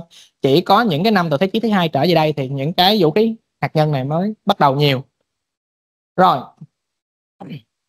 À, sự xuất hiện những cái dịch bệnh mới và sự quay lại của những dịch bệnh truyền thống. Thí dụ như lao lao ngày xưa ai mà mắc lao là coi như là ký án tử ha. Cứ bị lao là không có thuốc trị. Nhưng mà bây giờ mình chữa chữa được lao rồi, nhưng bây giờ nó quay lại thành lao kháng thuốc. Có nghĩa là khi các bạn bị mà lao dính vô cái chủng lao kháng thuốc thì các bạn điều trị theo cái phác đồ bình thường ngày xưa nó không hiệu quả. Thì đó là những cái dịch bệnh truyền thống bắt đầu nó quay trở lại và nó sẽ nguy hiểm hơn. Nó nó sẽ càng ngày nó càng độc tố, nó càng cao hơn và nó càng nguy hiểm hơn ha. Rồi, những cái nạn phá rừng, suy thoái này ngày xưa thì đất đai rất là bao la ha, rừng, cây, các bạn biết là các bạn coi cái tỷ lệ bản đồ và rừng của Việt Nam mình những năm về trước các bạn, rất là xanh. Tỷ lệ phủ, bao phủ cây rừng rất là nhiều. Nhưng hiện nay các bạn thấy là có một cái ảnh chụp một cái khu vực tam giác giữa Việt Nam, Lào, Campuchia. Thì cái khu vực ở bên Việt Nam mình là cây chặt hết áo rồi, chỉ còn Lào với Campuchia là khu vực đó vẫn còn nhiều cây xanh. Nhưng mà cái mảnh đất ở bên Việt Nam mình là chặt hết cây rồi. Thì các bạn biết là cái việc phá rừng hiện nay là đang cũng là một vấn đề cấp thiết ha rồi biến đổi khí hậu giảm suy giảm tầng ozone thì cái này là nhìn vô là các bạn biết là hiện đại rồi. Vậy thì đi khi đi thi với các bạn nếu như mình cho cái câu này dễ thì mình sẽ cho các bạn thấy được những cái nào mà nó cụ thể luôn. Ví dụ như mình cho là à, suy giảm tầng ozone ô nhiễm à, biến đổi khí hậu là nó thuộc về mối nguy hiểm nào? A nguy hiểm hiện đại b là nguy hiểm vừa trong hiện đại vừa trong quá khứ c là gì đó thì các bạn lựa chọn. Thì đi thi mình sẽ hỏi những câu hỏi tương tự vậy. Thì các bạn phải nắm được thông tin này thì để các bạn có thể trả lời được những câu đó ha rồi cái khả năng chống đỡ của con người. Khả năng chống đỡ của con người đó chính là các cái yếu tố của bản thân con người có khả năng chống lại những cái yếu tố bất lợi trong môi trường sống. Nó sẽ gồm có 6 yếu tố ha. Di truyền dinh dưỡng bệnh tật cá tính tuổi tác và giới tính. Vậy thì uh, di truyền. Các bạn thấy là người dân châu phi những người dân da đen thì có thể lực độ bền sức bền sức dẻo dai tốt hơn những người châu á và những người châu âu khi đi thi mà chạy các bạn. Ví dụ như Usain Bolt chạy nhanh nhất thế giới đúng không? Có nghĩa là họ quen với cái việc là đi săn bắn ở trên các cái thảo nguyên, các savan rồi. Nên là cái việc tốc độ chạy rồi cái bộ gen của họ thích hợp cho cái việc là vận động. Phải sống ở trên những cái khu vực đó nên là họ vận động rất là nhiều. Nên là những cái người dân châu phi, những người dân da đen thì sẽ có thể lực, sức khỏe tốt hơn, dẻo dai hơn. Rồi dinh dưỡng. Các bạn có thể thấy được là khi một đứa trẻ nuôi ở trong cái môi trường hiện đại cho ăn đầy đủ với dinh dưỡng ngày ba bữa à, cân đông đo đếm về lượng thức ăn đầy đủ thì sẽ phát triển một cách cân đối không bị suy dinh dưỡng cũng không bị béo phì. Nhưng mà ở dưới nông thôn đi các bạn thí dụ như nông thôn mà không có đủ đồ ăn thì trẻ em sẽ bị còi xương rồi chậm phát triển suy dinh dưỡng. Còn nếu mà cho ăn nhiều quá thì sẽ bị béo phì. Đó đó là những cái liên quan tới dinh dưỡng ha. Bệnh tật. Bệnh tật này các bạn thấy rõ nhất là ở trong cái đợt covid 19 những người có bệnh nền tim mạch ung thư thì sẽ được luôn luôn được ưu tiên chích những cái loại thuốc mà ít có cái tác dụng phụ. Và thứ hai là những cái người đó luôn luôn được bảo vệ ha không có bị kêu đi chống dịch cũng không có đi vòng vòng ra ngoài. Còn đối với thanh niên thời đó các bạn cỡ tuổi mình đi là được kêu đi hỗ trợ chống dịch đi tiêm chủng tiêm ngừa. Thì cái đợt đó mình đi hỗ trợ tiêm ở trường Diên Hồng gần ngay quận 10 mình nè. Thì uh, đợt chống dịch đó cũng rất là vui ha. Đi uh, cũng nói nó vui thì cũng không đúng nhưng mà có nghĩa là mình là được cống hiến cho xã hội với các bạn. Rồi giới tính. Giới tính thì trong cùng một độ tuổi thì thường các bạn nam sẽ cao to đô con và có thể lực hơn các bạn nữ. Ví dụ như mình kêu một bạn nào đó khiêng một cái bình nước 20 lít đi thì các bạn nam phải lên khiêng chứ đâu thể nào để các bạn nữ lên khiêng được đúng không? Thì cái đó là liên quan tới giới tính. Rồi tuổi tác. Tuổi tác này các bạn cũng nhìn thấy rất là rõ nhất trong đợt covid 19 nè trẻ em và người già là hai cái đối tượng luôn luôn được bảo vệ, luôn luôn được ưu tiên chích những cái loại thuốc mà ít có tác động. Rồi trẻ em thì không có chích ngừa mà nhưng mà phải được bảo vệ trong nhà, luôn luôn là được che chở. Còn những bạn thanh niên từ 18 20 tuổi là phải xung phong ra chống dịch. Mà đôi khi có một số người là đi chống dịch xong là nằm lại luôn. Có rất là nhiều ờ, anh đoàn viên thanh niên đi xong rồi hy sinh, gọi là hy sinh ha. Đợt chống dịch đó rất là rất là nặng nề. Rồi cái cá tính này. Bạn nào cho mình biết cái cá tính này thì nó ảnh hưởng như thế nào tới khả năng chống đỡ của con người trước các đó, các cái yếu tố trong môi trường? Đâu bạn nào cho mình biết thử coi. À, đâu à, bạn nam áo đen cho mình biết thử coi cái cá tính này thì nó ảnh hưởng như thế nào tới khả năng chống đỡ của con người bạn.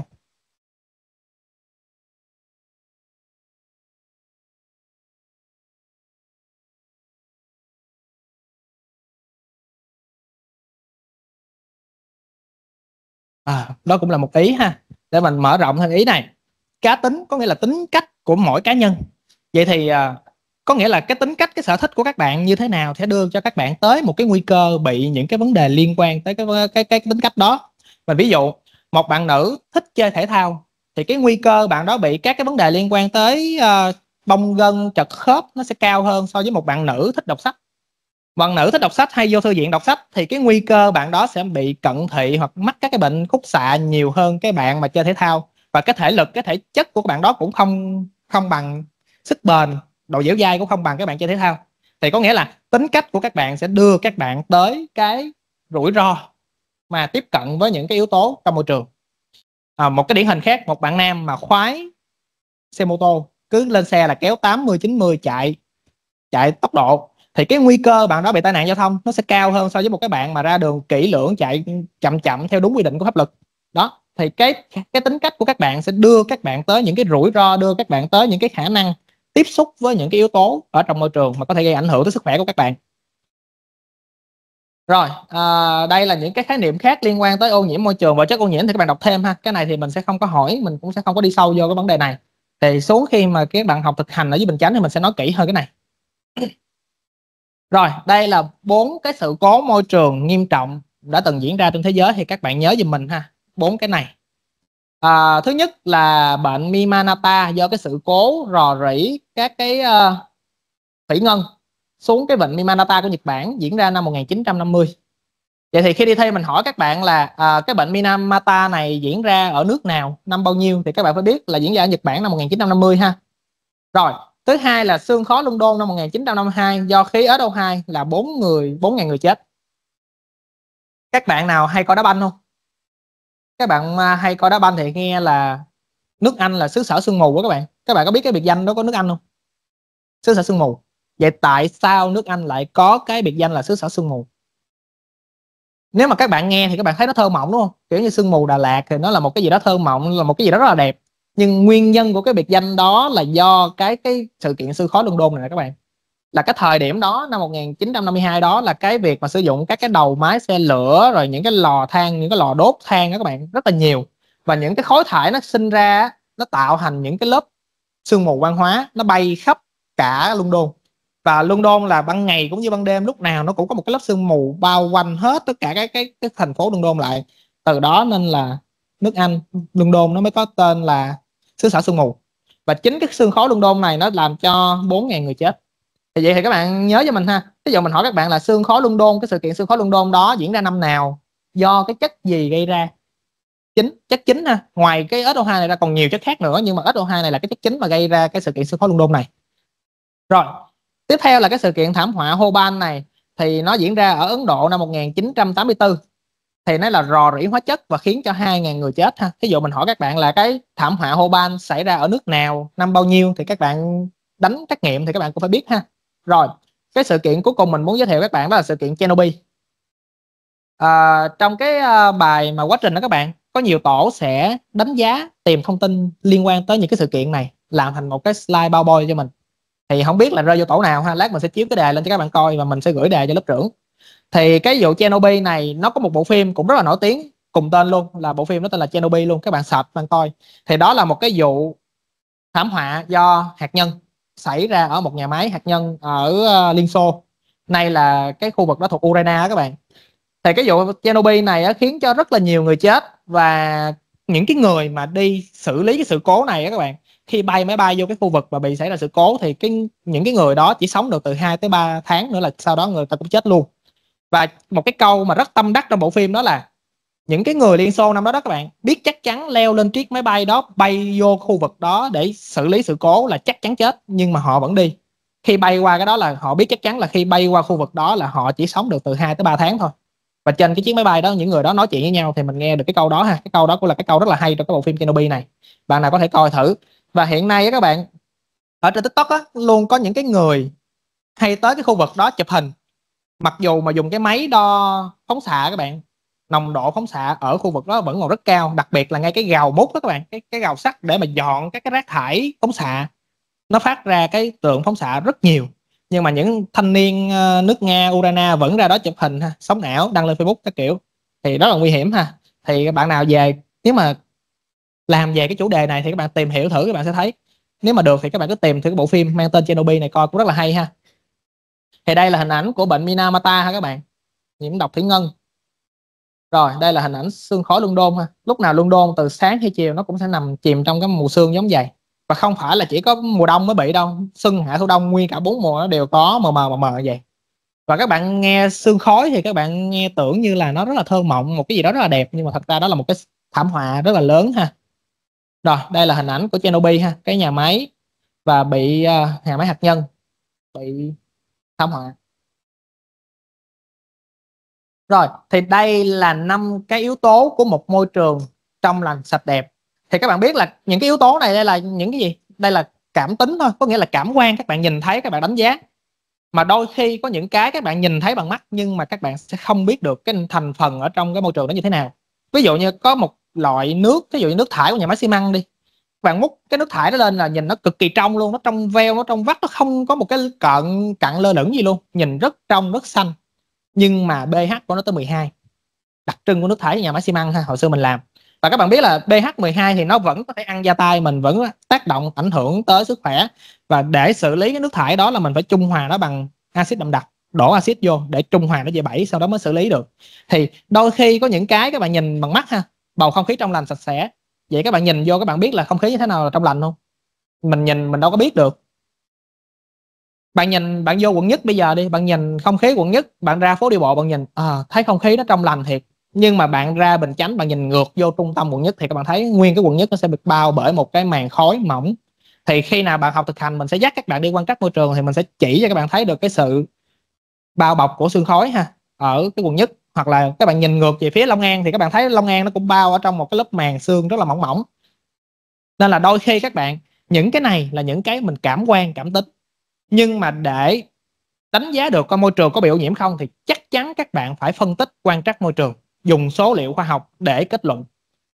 Các bạn là bác sĩ, các bạn là người làm khoa học thì các bạn phải dùng con số, các bạn phải dùng các cái dữ liệu khoa học để các bạn kết luận nó coi nó có ô nhiễm hay không. Nồng độ ô nhiễm là bao nhiêu rồi, quá trình ô nhiễm đó nó sẽ diễn biến như thế nào thì các bạn phải dùng con số khoa học để bạn kết luận ha. Rồi, đây là một số những cái thách thức môi trường hiện nay. Có nghĩa là những cái vấn nạn hiện nay mà con người đang phải cố gắng giải quyết thì đây cũng là những vấn đề cấp thiết dẫn tới những cái đề tài nghiên cứu khoa học hiện nay. Có nghĩa là những cái đề tài nghiên cứu khoa học trong lĩnh vực môi trường, sức khỏe môi trường, y tế công cộng, vân vân, thì nó cũng sẽ bắt nguồn từ những cái sự cố này, những cái này. Và chúng ta sẽ đưa ra những cái giải pháp để xử lý thí dụ như là thủng tầng ozone này thủng tầng ozone này con người tìm cách khắc phục bao nhiêu năm? Không được. Chỉ sau một đợt covid thôi. Tất cả các hoạt động sản xuất công nghiệp ngưng lại là ozone tự động nó hồi phục lại. Là các bạn thấy là nguyên nhân mà gây ra thủng thủng tầng ozone là do con người. Con người chỉ cần không hoạt động công nghiệp thôi là cái thủng tầng ozone này nó sẽ tự động nó hồi phục lại. Rồi, biến đổi khí hậu đây là một cái hình ảnh ha con gấu bắc cực bây giờ nó không còn cái nơi nào để nó đi hết. Các bạn coi những cái clip mà về discovery các bạn, thấy là dạo gần đây là gấu bắc cực nó bị ốm. Nó cũng không có cái chỗ để nó sinh sống, nó cũng không có nguồn thức ăn, hải cẩu rồi cá nó cũng bị giảm đi, khiến cho những con gấu bắc cực này nó bị ốm ốm nó trơ xương luôn đó các bạn. Thì các bạn coi những cái clip mà gần đây nhất thì các bạn sẽ thấy được ha, cái tình hình băng tan ở hai cực đang diễn ra rất là nghiêm trọng. Mưa axit mưa axit này thì do khói bụi khói thải từ những cái nhà máy xí nghiệp công nghiệp nó bay lên trên nó sẽ ngưng tụ cùng với nước mưa và nó rớt xuống nó sẽ gây ảnh hưởng trực tiếp đến sức khỏe người dân cũng như là mùa màng. Thì đây cũng là một cái vấn đề do hoạt động công nghiệp của con người gây ra. Rồi à, các cái liên quan tới ô nhiễm môi trường đang xảy ra trên diện rộng. Thí dụ như là sử dụng thuốc trừ sâu nè bạn xịt. Rồi à, đốt rừng làm nương rẫy nó sẽ ảnh hưởng trực tiếp tới môi trường và những cái đó nó cũng sẽ ảnh hưởng trực tiếp tới con người ví dụ như các bạn về quê các bạn về quê thì các bạn hay thấy mỗi lần mà sau khi kết thúc mùa vụ là người nông dân hay đốt rạ các bạn là khói nó bay hết cả một cái khu vực một cái vùng đó luôn. Rồi tăng dân số. Tăng dân số cũng là một trong những cái uh, nguyên nhân khiến cho cái nguồn tài nguyên của trái đất bị cạn kiệt.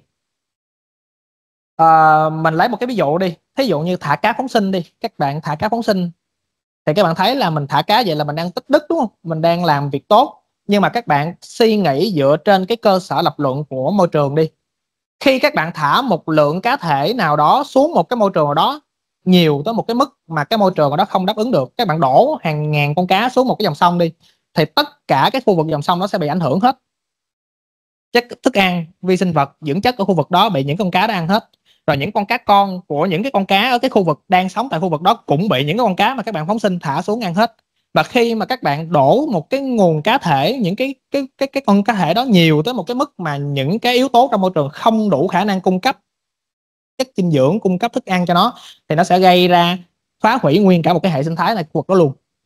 Các bạn thả rất nhiều con cá xuống, thì ngay tại cái thời điểm đó là cái số lượng nó đông lên và nó sẽ phát tán ra nguyên cả cái khu vực sông đó và nó sẽ ảnh hưởng tới nguyên cả cái hệ sinh thái tại cái khu vực đó. Đôi khi các bạn thả xuống, các bạn không hình dung được điều đó, nhưng mà chỉ cần thả xuống thôi là cái hệ sinh thái khu vực đó nó đã thay đổi không còn như lúc đầu nữa rồi nó không còn là tự nhiên nữa. Nên là cũng cân nhắc ha. Rồi sự suy giảm của các cái, cái thể sinh học này thì các bạn biết là tuyệt chủng. Bây giờ cái đó là một trong những cái, cái cụm từ mà rất nhiều loài động vật đang phải đối mặt. Và những loài động vật mà đưa vào sách đỏ là có nguy cơ tuyệt chủng rất cao. Có nhiều con đó các bạn ở ngoài môi trường là bây giờ không còn xuất hiện nữa. Ví dụ ngày xưa mình đi ờ, thả cầm viên đi mình coi những con hu sao đi những con hu sao thì à, hiện nay là cái con đó là nó tuyệt chủng ở ngoài môi trường tự nhiên rồi. Nó chỉ còn lại xuất hiện lại tại những khu bảo tồn những cái sở thú những vườn vườn quốc gia thôi. Chứ còn là ở trong môi trường tự nhiên là hoàn toàn các bạn không bao giờ bắt gặp nó ở ngoài đời sống tự nhiên nữa. Rồi đây là một số cái hình ảnh những cái nghiên cứu liên quan tới thủng tầng ozone ha. Diễn biến qua từng năm thì các bạn thấy qua từng năm thì càng ngày nó càng tăng lên. Đó. Còn đây là liên quan tới uh, khả năng mà tầng ozone nó giúp cho con người chống lại các cái tia UV ở trong môi trường, tác động tới da ha.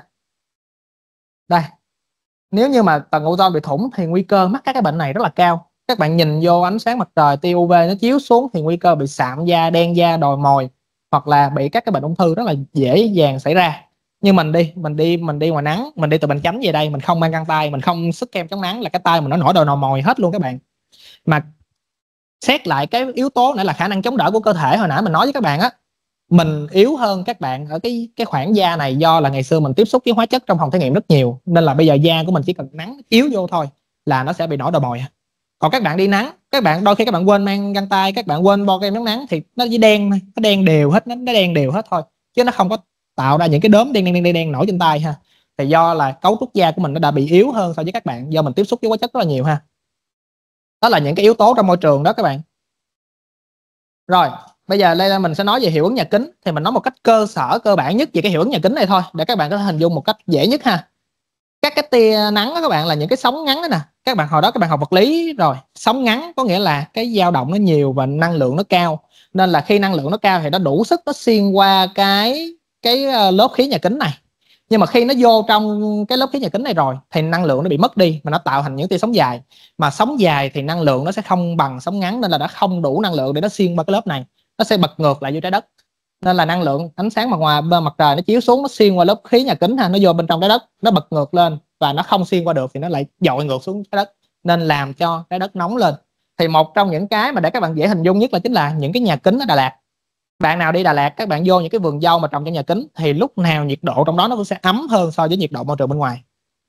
Và chính cái nhà kính này nó đã đã phá hủy đi cái hệ sinh thái tự nhiên của Đà Lạt. Cách đây hai chục năm về trước các bạn đi Đà Lạt, thì Đà Lạt nó rất thơ mộng. Tối là không có nhà kính, không có đèn, nó rất là nhìn nó rất là tối, nhưng mà nó có một cái gì đó nó rất là thơ mộng. Mà sương rất là đẹp nhưng mà bây giờ các bạn đi Đà Lạt, các bạn nhìn xuống những quả đồi là các bạn thấy toàn nhà kính và nhà kính không? Nó mở đèn, nó xong đèn nguyên đêm. Các bạn ngồi cho nó mà nhìn xuống là toàn là nhà kính không? Thì cái phong cảnh tự nhiên nó mất, cái cảnh vật tự nhiên nó cũng mất. Và cái không khí của nó bây giờ các bạn biết Đà Lạt nó cũng không còn mát mẻ như ngày xưa nữa. Ngày xưa các bạn từ thành phố Hồ Chí Minh các bạn lên Đà Lạt là cái không khí nó khác hẳn liền. Còn đôi khi bây giờ Đà Lạt nó còn nóng hơn thành phố Hồ Chí Minh nữa. Các bạn vô trong phòng các bạn mở máy lạnh 21 độ. Còn Đà Lạt thì đôi khi bây giờ nó còn nóng hơn ở thành phố Hồ Chí Minh ở một số thời điểm nhất định. Có nghĩa là những cái nhà kính này nó sẽ gây tác động ảnh hưởng tới cái cảnh quan, cảnh sắc, cảnh vật tại khu vực Đà Lạt. Thì mình sẽ phân tích kỹ hơn với các bạn khi các bạn học thực hành với Bình Chánh nè. Những cái nguyên nhân mà khiến cho Đà Lạt dạo gần đây các bạn nghe là bị ngập lụt, lũ cuốn, lũ quét, nó cũng do nhà kính này gây ra. Thì để lúc đó mình sẽ phân tích cho các bạn kỹ hơn. Rồi, đây là một số những cái thảm họa khác các bạn coi thêm ha thì đây là hình ảnh ờ, các bạn có thể mới thấy được đây ở Bảo Gia Ghi. Cái này cũ rồi, nhưng mà Bảo Gia Ghi thì nó cũng tác động tương tự vậy. Và ở Mỹ thì cũng đang bị một cơn bão cũng khá là mạnh, nó cũng khiến cho cái khu vực ở nước Mỹ nó cũng bị ảnh hưởng rất là nghiêm trọng ha. Còn đây là hình ảnh của băng tan ở hai cực ha. Các bạn thấy lớp băng ngày xưa nó rất là dày và bây giờ nó càng ngày nó càng thu nhỏ lại. Cả bắc cực lẫn nam cực nó càng ngày nó càng thu nhỏ lại. Còn đây là những cái nghiên cứu liên quan tới ờ, nước biển dân thì người ta sẽ thu thập số liệu từng năm và người ta sẽ bỏ vô một cái mô hình. Ở trong cái ngành kỹ thuật môi trường, nó sẽ có một cái gọi là mô hình để dự báo coi là nước biển dân bao nhiêu các bạn. Những cái kịch bản xảy ra là những số liệu mà các bạn thu từ 10 năm trước các người ta sẽ bỏ vô một cái hệ thống, người ta sẽ vẽ ra một cái kịch bản là cứ tăng cái lượng nước như thế này thì sau 10 năm 20 năm 100 năm nữa thì đồng bằng sông Cửu Long sẽ ngập dưới mặt nước biển. Thành phố Hồ Chí Minh sẽ chìm dưới mặt nước biển. Cái đó là những cái kịch bản mà người ta đã tính toán ra được ha thì đây đây là hình ảnh nước biển dân nè. Và người ta sẽ bỏ vào kịch bản người ta sẽ kết luận là à, sau bao nhiêu năm nữa là nguyên đồng bằng sông Cửu Long mình nó sẽ bị ngập ở trong nước biển do nước biển dân. Và cứ mỗi năm cứ dâng lên một hai ba cm vậy thì bao nhiêu năm nữa nó sẽ chìm trong mặt nước biển. Thì đây là một trong những cái hướng nghiên cứu mà cũng khá là à, gọi là khá là nhiều người làm ở trong cái lĩnh vực môi trường. Rồi những cái à, biến đổi khí hậu nó sẽ gây ra là gì? Nó sẽ gây ra những cái sự cố môi trường cực đoan ví dụ như bão nè thiên tai lũ lụt sóng thần nó sẽ tác động trực tiếp tới sức khỏe con người. À, các bạn biết là bão nó cuốn qua rồi thì nó gây ảnh hưởng thiệt hại về người là chắc rồi. Nhưng mà sau khi bão tan đi rồi thì những cái yếu tố liên quan tới dịch bệnh các cái tác động kéo theo nó sẽ rất là nhiều. Do là điều kiện vật chất không được đảm bảo nè rồi nước bị ô nhiễm nè rồi môi trường không được đảm bảo nè nó sẽ kéo theo những cái dịch bệnh kéo theo ha rồi những cái này thì các bạn đọc thêm ha. Thì hiện nay trong môi trường chúng ta sẽ quan tâm tới ba cái loại chính. Thứ nhất là ô nhiễm đất thứ hai ô nhiễm nước và thứ ba ô nhiễm không khí. Thì cái này mình khi học thực hành mình cũng sẽ phân tích kỹ hơn cho các bạn. Rồi ô nhiễm không khí này thì uh, cô Vi cũng đã hướng dẫn cho các bạn uh, ở trên giảng đường rồi ha. Ô nhiễm không khí. À thầy viên thầy viên đã dạy các bạn bài này. Không biết là học bài ô nhiễm không khí chưa? Rồi thì đó thầy viên cũng đã phân tích cho các bạn kỹ rồi thì mình à, không có nói lại ha. Rồi đây đây là những cái yếu tố ảnh hưởng tới sức khỏe con người liên quan tới ô nhiễm không khí. Rồi đây là những hình ảnh mà nếu như mà con người mà gọi là bảo vệ môi trường thiên nhiên thì chúng ta sẽ có một cái môi trường như là bên này. Còn nếu như con người mà không bảo vệ môi trường thiên nhiên thì cái môi trường sống của con người nó sẽ giống như bên phải bên màn hình này. Đây là hình ảnh của những cái à, gọi là sự cố liên quan tới môi trường ha đây là hình ảnh sông Sài Gòn bị uh, rò rỉ dầu. Các bạn thấy không? Dầu nó loang trên mặt nước. Và các bạn biết sông Sài Gòn là cái nguồn nước chính cung cấp cái nước đầu vào để xử lý nước cấp để cấp cho các bạn. Mà nếu như cái nguồn nước đầu vào mà nó bị ô nhiễm thì chắc chắn là các bạn sẽ bị ảnh hưởng trực tiếp đến sức khỏe. Nên là cái việc kiểm soát cái chất lượng nước sông Sài Gòn này là thực hiện một cách thường xuyên. Và khi các bạn học thực hành liên quan tới quan trắc nước thầy viên cũng sẽ hướng dẫn các bạn là thời gian bao nhiêu đo bao lâu rồi bao nhiêu tháng mà chúng ta sẽ kiểm tra các cái thông số A bao nhiêu tháng chúng ta sẽ kiểm tra thông số B thì thầy viên sẽ hướng dẫn các bạn khi học thực hành ha. Rồi, những cái ô nhiễm khác thì các bạn coi thêm ha. Nói chung bài này nó là một cái gì đó tổng quan hết tất cả cả nguyên cả một cái ngành học liên quan tới sức khỏe môi trường luôn. Rồi, cái này liên quan tới an ninh lương thực thì các bạn coi thêm thôi. Cái này mình sẽ không hỏi thêm ha. Thì đây là những cái biểu đồ đánh giá về các cái tăng dân số theo hàng năm.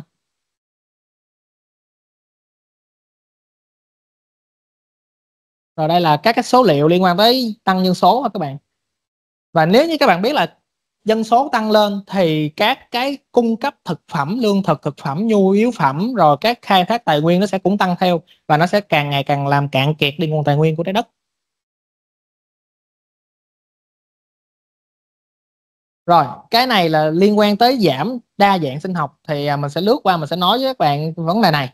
Hiện nay ở Việt Nam mình đó là theo cái nghiên cứu mà của cái năm mà nó ra cái bài báo này á, thì có 882 loài đang bị đe dọa tức là đang nằm ở trong những cái sách đỏ mà gọi là cần được bảo tồn ha các bạn. Thì trong đó là có 418 loài động vật và 464 loài thực vật. Thì có 9 loài tuyệt chủng hoàn toàn mà cái tuyệt chủng này á, là các bạn nhớ giùm mình ha tuyệt chủng hoàn toàn tại môi trường tự nhiên. Có nghĩa là ở trong môi trường tự nhiên nó tuyệt chủng thôi nhưng mà đôi khi các bạn vẫn sẽ bắt gặp nó ở những khu bảo tồn. Ví dụ như con cá sấu hoa cà cá sấu hoa cà ở trong tự nhiên là bây giờ là đã tuyệt chủng rồi. Nhưng mà ở những khu bảo tồn, ở những cái trang trại, chăn nuôi thì người ta vẫn nuôi cá sấu hoa cà để người ta lấy da. Nên là đôi khi các bạn thấy là mình ghi tuyệt chủng như vậy, các bạn phải nhớ về mình là tuyệt chủng ở trong môi trường tự nhiên. Còn có một số loài ví dụ như tê giác hay sừng là tuyệt chủng hoàn toàn luôn. Có nghĩa là trong môi trường tự nhiên lẫn trong các khu bảo tồn nó đều không còn nữa. Hoặc đôi khi các bạn nghe là có những cái loài ví dụ như những cụ rùa đi là cá thể cuối cùng còn tồn tại trên trái đất. Xong rồi nó mất đi thì người ta cũng đưa tin lên. Đó là những cá thể cuối cùng của một cái loài nào đó. Thì đây là những cái con mà đã bị tuyệt chủng hoàn toàn trong tự nhiên ha các bạn. Đây cá sấu, hoa cà. Con hu sao này cũng vậy nè các bạn. Ở trong môi trường tự nhiên thì các bạn không bao giờ bắt gặp nó trong môi trường tự nhiên nữa. Nhưng mà các bạn ra sở thú, thảo cầm viên thì các bạn vẫn còn thấy nó ha. Cách đây 10 năm về trước mình đi ờ, sở thú thì mình vẫn còn gặp cái con này rồi các cái chiến lược chính sách bảo vệ môi trường này thì mình sẽ nói rõ hơn ở trong cái phần học thực hành. Rồi coi như là mình đã xong cái bài về sức khỏe môi trường rồi. Thì các bạn nghỉ giải lao 5 phút rồi mình sẽ qua tiếp cái bài tiếp theo ha về độc chất học môi trường.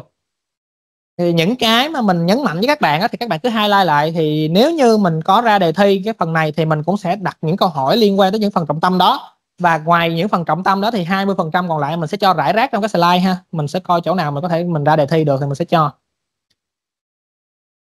Rồi đây là cái đề à, làm bài thuyết trình của các bạn ha. Tổng cộng là các bạn có 16 tổ của lớp C và lớp D. Thì tương ứng với lại 16 cái đề. Thì uh, tổ 1 của C với D sẽ làm chung một đề. Thì tương tự vậy thì tổ 2 tổ 3 cho tới tổ 16 cũng giống vậy ha. Thì yêu cầu của mình sẽ là làm dạng trình bày là cái file PDF uh, file PowerPoint uh, khoảng 20 slide. Bạn nào làm hơn nếu mà có nội dung hơn và phong phú hơn thì mình sẽ cộng điểm thêm. Nhưng mà tối thiểu các bạn ít nhất cũng phải được 20 slide. Và trong đó thì các bạn phải sử dụng hình ảnh nội dung cho phù hợp liên quan tới cái chủ đề của mình. À, các bạn lấy hình nào mà cái hình đó không phải do các bạn chụp không phải do các bạn vẽ ra thì các bạn nhớ trích nguồn giùm mình. Thì mình sẽ tính cái điểm nó liên quan tới cái điểm trích nguồn ha. Rồi đây các bạn phải trích nguồn. Và nhớ cho mình trong một cái bài thì luôn luôn nó sẽ có đủ 3 phần mở bài thân bài kết bài. Thì trong cái bài trình chiếu cũng vậy nó sẽ có phần mở đầu đặt cái câu hỏi hoặc là đặt cái chủ đề mà các bạn đang nói. Nội dung của cái chủ đề đó là gì? Và cuối cùng là sau cái chủ đề đó kết luận lại các bạn kết luận được điều gì từ đó. Nếu như một cái bài nào đó mà không đủ cấu trúc 3 phần thì mình sẽ trừ điểm về liên quan tới cái cấu trúc trình bày ha. Vậy thì cái về cái phần mà chấm điểm á, thì cái ba rem điểm của mình nó sẽ gồm có hình thức là hai điểm chữ nghĩa nè, kích thước chữ phù hợp nè, rồi phong chữ phù hợp với trình chiếu nè.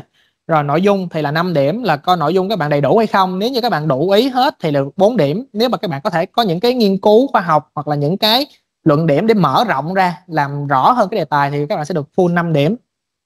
Trích dẫn trích dẫn các hình ảnh là các nội dung, các cái tài liệu, các con số mà các bạn có số liệu trích dẫn ra thì mình sẽ cho hai điểm.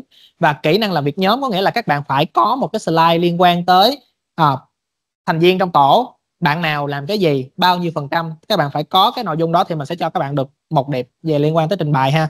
Thì uh, liên quan tới cái ba đem điểm thì mình đã xô sẵn cho đây rồi. Thì các bạn nếu như làm theo đúng hết các cấu trúc này thì chắc chắn các bạn sẽ được từ 8 điểm trở lên ha. Các bạn nhớ làm kỹ lưỡng giùm mình. À, thời gian làm bài nó sẽ tính từ khi mà mình gửi cái cái đề này qua mail cho bạn lớp trưởng thì bắt đầu trong cái cái mail đó mình sẽ ghi cái thời gian làm bài và cái thời gian nộp bài cho các bạn luôn. Và thí dụ như mình gửi buổi tối đi thì ngày bắt đầu từ ngày hôm sau mình mới tính thời gian làm bài cho các bạn. Nên là các bạn cứ yên tâm ha lỡ mình gửi 12 giờ đêm thì cũng không sao hết. Thì bắt đầu qua sáng hôm sau mình mới tính thời gian. Tại mình hay làm việc ban đêm đó các bạn. Rồi thì đây là sơ lược về cái đề ha. Các bạn cứ làm bo slide uh, bo boy gửi cho mình.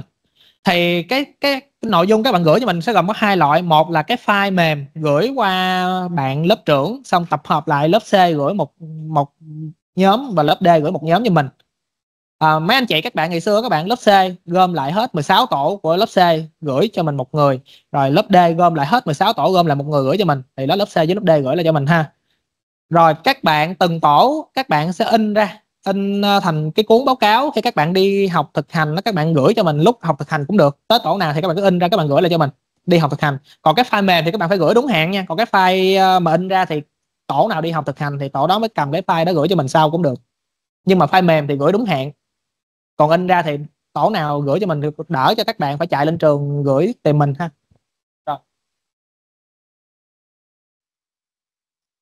Rồi mình tiếp tục học uh, nội dung của cái bài tiếp theo ha các bạn. Rồi bây giờ mình sẽ nói về chủ đề độc chất học trong môi trường lao động. Thì đây cũng là một cái bài khá là quan trọng ha. Để các bạn đánh giá được xem trong môi trường có độc chất gì và những cái độc chất đó tác động như thế nào tới sức khỏe con người thì chúng ta sẽ nghiên cứu tới độc chất học trong môi trường. Thì các bạn biết là các bạn học dược á, nếu mà các bạn học những cái bài liên quan tới dược thì các bạn đã học độc chất rồi nhưng mà độc chất ở trong môi trường nó sẽ khác một xíu so với độc chất mà các bạn đã học trước đây các bạn học bài độc chất chưa? Chưa luôn à rồi vậy thì ờ, mình cũng sẽ nói về độc chất ha. Độc chất là những cái chất mà nó có khả năng gây độc gây bệnh gây hại tới sức khỏe con người. Và độc chất học trong môi trường là những chất độc đó phát sinh trong môi trường sống trong môi trường lao động mà nó tác động tới sức khỏe con người. Vậy thì mình sẽ nghiên cứu về độc chất học trong môi trường lao động ha. À, qua cái bài này mục đích của bài này để cho các bạn gì hiểu được một cách khái quát tức về độc chất và độc chất học. Và trong môi trường lao động nói riêng và trong môi trường nói chung thì có rất nhiều độc chất. Mà theo các cái định nghĩa thì chất nào bản chất của nó cũng sẽ có tính độc. Hầu như tất cả những cái chất ở trong môi trường chất nào nó cũng có tính độc. Chỉ là các bạn tiếp xúc với nồng độ bao nhiêu trong thời gian bao lâu thì nó trở thành chất độc. Cái này là theo cái định nghĩa của Paracelsus ha.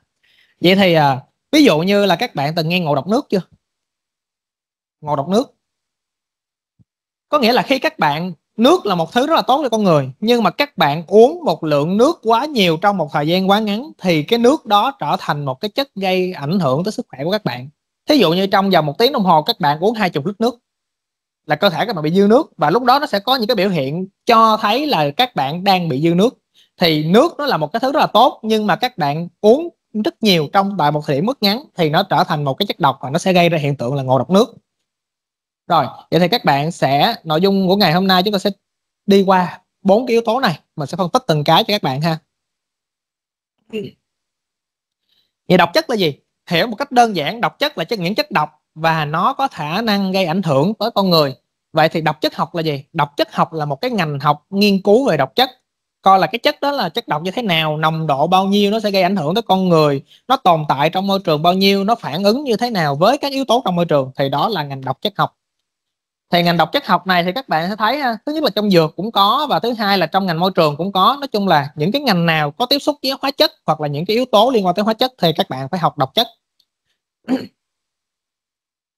Vậy thì độc chất học trong môi trường là gì? Độc chất học trong môi trường nó khác cái độc chất một chỗ là độc chất học trong môi trường là những chất độc phát sinh trong cái quá trình sống, trong cái quá trình hoạt động sinh hoạt của con người. Có nghĩa là trong môi trường lao động, trong môi trường sống, nó sẽ tạo ra những chất độc. Và những chất độc đó ảnh hưởng tới sức khỏe của các bạn. Các bạn sẽ nghiên cứu những cái này để làm gì? Để sau này các bạn biết là trong cái môi trường lao động của các bạn có những yếu tố gì gây hại, hoặc là các bạn biết được là người bệnh nhân của các bạn đang khám đang làm ngành nghề gì, và ngành nghề đó tiếp xúc với những chất nào và những cái chất đó gây ra bệnh gì là sau này nếu mà các bạn đi chuyên về khám bệnh nghề nghiệp như bác sĩ Khiêm thì các bạn sẽ phải biết được coi là à người lao động đang làm ở cái lĩnh vực đó, thì lĩnh vực đó có những yếu tố gì có khả năng gây độc cho cái cơ thể của người lao động đó. Và các bạn, khi các bạn, chỉ cần các bạn biết được người lao động đang làm về lĩnh vực gì, thì các bạn có thể chẩn đoán được cái bệnh, những cái yếu tố mà biểu hiện lâm sàng đó là có nguy cơ bị cái gì đôi khi có những cái cái gọi là những cái biểu hiện lâm sàng các bạn, nó sẽ giống na ná như nhau. Na ná như những cái bệnh bình thường bên ngoài. Nhưng mà các bạn biết được, người lao động đang làm việc tại cái lĩnh vực đó thì các bạn có thể chốt ngay được là nguy cơ cao người ta sẽ bị những cái vấn đề liên quan tới môi trường lao động đó. Thì cái đó là những cái yếu tố mà để đánh giá bệnh nghề nghiệp ha. Vậy thì trong cái lĩnh vực độc chất học môi trường này á, ở Việt Nam giáo sư rất là nổi tiếng, đó là giáo sư Lê Huy Bá đây, giáo sư Lê Huy Bá thì giáo sư này là người đã viết ra những cái cuốn sách đầu tiên liên quan tới độc chất học trong môi trường. Và những cái cuốn sách còn lại là do những học trò của giáo sư này viết. Tổng cộng 6 cuốn này luôn ha. Đều là, những thầy cô này đều là học trò của giáo sư này. Và giáo sư này vẫn còn đang sống ha. Thì cách đây hai năm về trước, mình thấy cô của mình chụp hình với giáo sư trong một cái buổi liên hoan gặp mặt. Thì giáo sư này cũng rất là già rồi. Và đó là những chuyên gia đầu ngành trong cái lĩnh vực độc chất học môi trường này vậy thì bây giờ trước khi mình tới độc chất thì mình sẽ phải làm rõ cái mục đích của việc nghiên cứu cái độc chất này làm gì.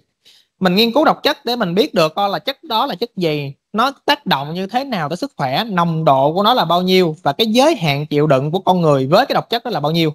Thì từ căn cứ từ cái đó thì chúng ta mới đề ra được những cái tiêu chuẩn quy chuẩn để chúng ta kiểm soát quản lý những cái độc chất đó trong cái môi trường.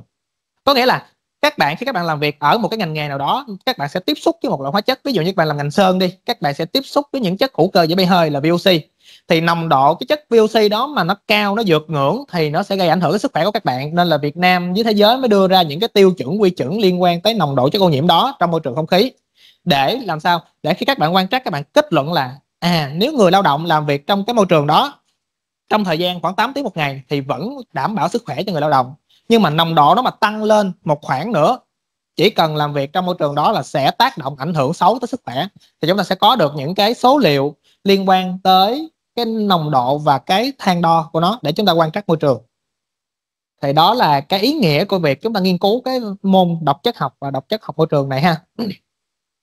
Vậy thì độc chất trong môi trường nó sẽ gồm có những dạng. Thứ nhất là vật lý, thứ hai là hóa học và thứ ba là sinh học thì những cái yếu tố trong môi trường thí dụ như là sóng nè sóng âm nè ánh sáng nè từ trường nè nó cũng có khả năng gây tác động tới sức khỏe con người. À, có nhiều nghiên cứu nêu ra được là à, sóng wifi nó có tác động tới con người. Nhưng mà tác động đó là tác động gì? Nó như thế nào? Nó không có đáng kể hoặc là giữa cái mục đích sử dụng của wifi 3G 4G với lại cái tác động của nó tới cơ thể con người thì nó không đáng kể nên người ta vẫn đang sử dụng những cái đó. Nhưng mà hỏi nó có tác động không? Nó có ảnh hưởng không? Thì có. Sóng điện thoại cũng vậy ha. Đã từng có một thời gian người ta nói là nếu mà bỏ điện thoại trong túi quần đối với các bạn nam thì có thể gây ảnh hưởng tới hệ thống sinh sản. Thì cái đó là những cái câu hỏi nghiên cứu, cái giả thuyết người ta đưa ra. Và người ta sẽ làm những cái nghiên cứu thực nghiệm để người ta chứng minh là cái giả thuyết người ta đúng. Thì đó là cái khởi nguồn của những cái nghiên cứu khoa học liên quan tới cái vấn đề này. Thì trong về độc chất đó các bạn các bạn nhớ cho mình, độc chất trong môi trường thì nó sẽ gồm có ba dạng. Thứ nhất là vật lý, thứ hai là hóa học và thứ ba là sinh học hóa học thì chắc rồi, những chất hóa học, chất nào cũng mang tính độc, chỉ là các bạn tiếp xúc cái nồng độ bao nhiêu trong thời gian bao lâu thôi. Còn sinh học thì những cái con virus vi sinh vật, những cái con mà có thể gây bệnh cho chúng ta, nó đều có mang cái độc chất trong người. Thì những cái độc chất đó nó vẫn tác động và nó gây bệnh cho con người, hoặc là ví dụ như nọc rắn đi, nó cũng là chất độc mà nó là thuộc sinh học. Nọc nhện, nọc rắn, thì đó là những, do những cái con sinh vật trong môi trường nó tiết ra, thì đó là nó cũng mang tính chất sinh học trong đó đây, cái câu nãy giờ mình nói với các bạn rất nhiều lần. Chất nào trong môi trường, chất nào nó cũng có mang tính độc hết. Chỉ là các bạn tiếp xúc với nồng độ bao nhiêu trong thời gian bao lâu mà thôi. Hầu như là chất nào nó cũng có gây ra độc hết ha các bạn? Thì Paracelsus là cái ông tổ trong cái ngành độc chất này. Và ổng có những cái phát biểu rất là hay và nó, bây giờ nó vẫn đúng ha các bạn. Rồi, bây giờ mình nói về độc chất thì chúng ta sẽ nói về liều lượng độc. Vậy liều lượng độc là gì? Các bạn hay hình dung một cách đơn giản thôi, đó là liều lượng các bạn cho thuốc của bệnh nhân các bạn.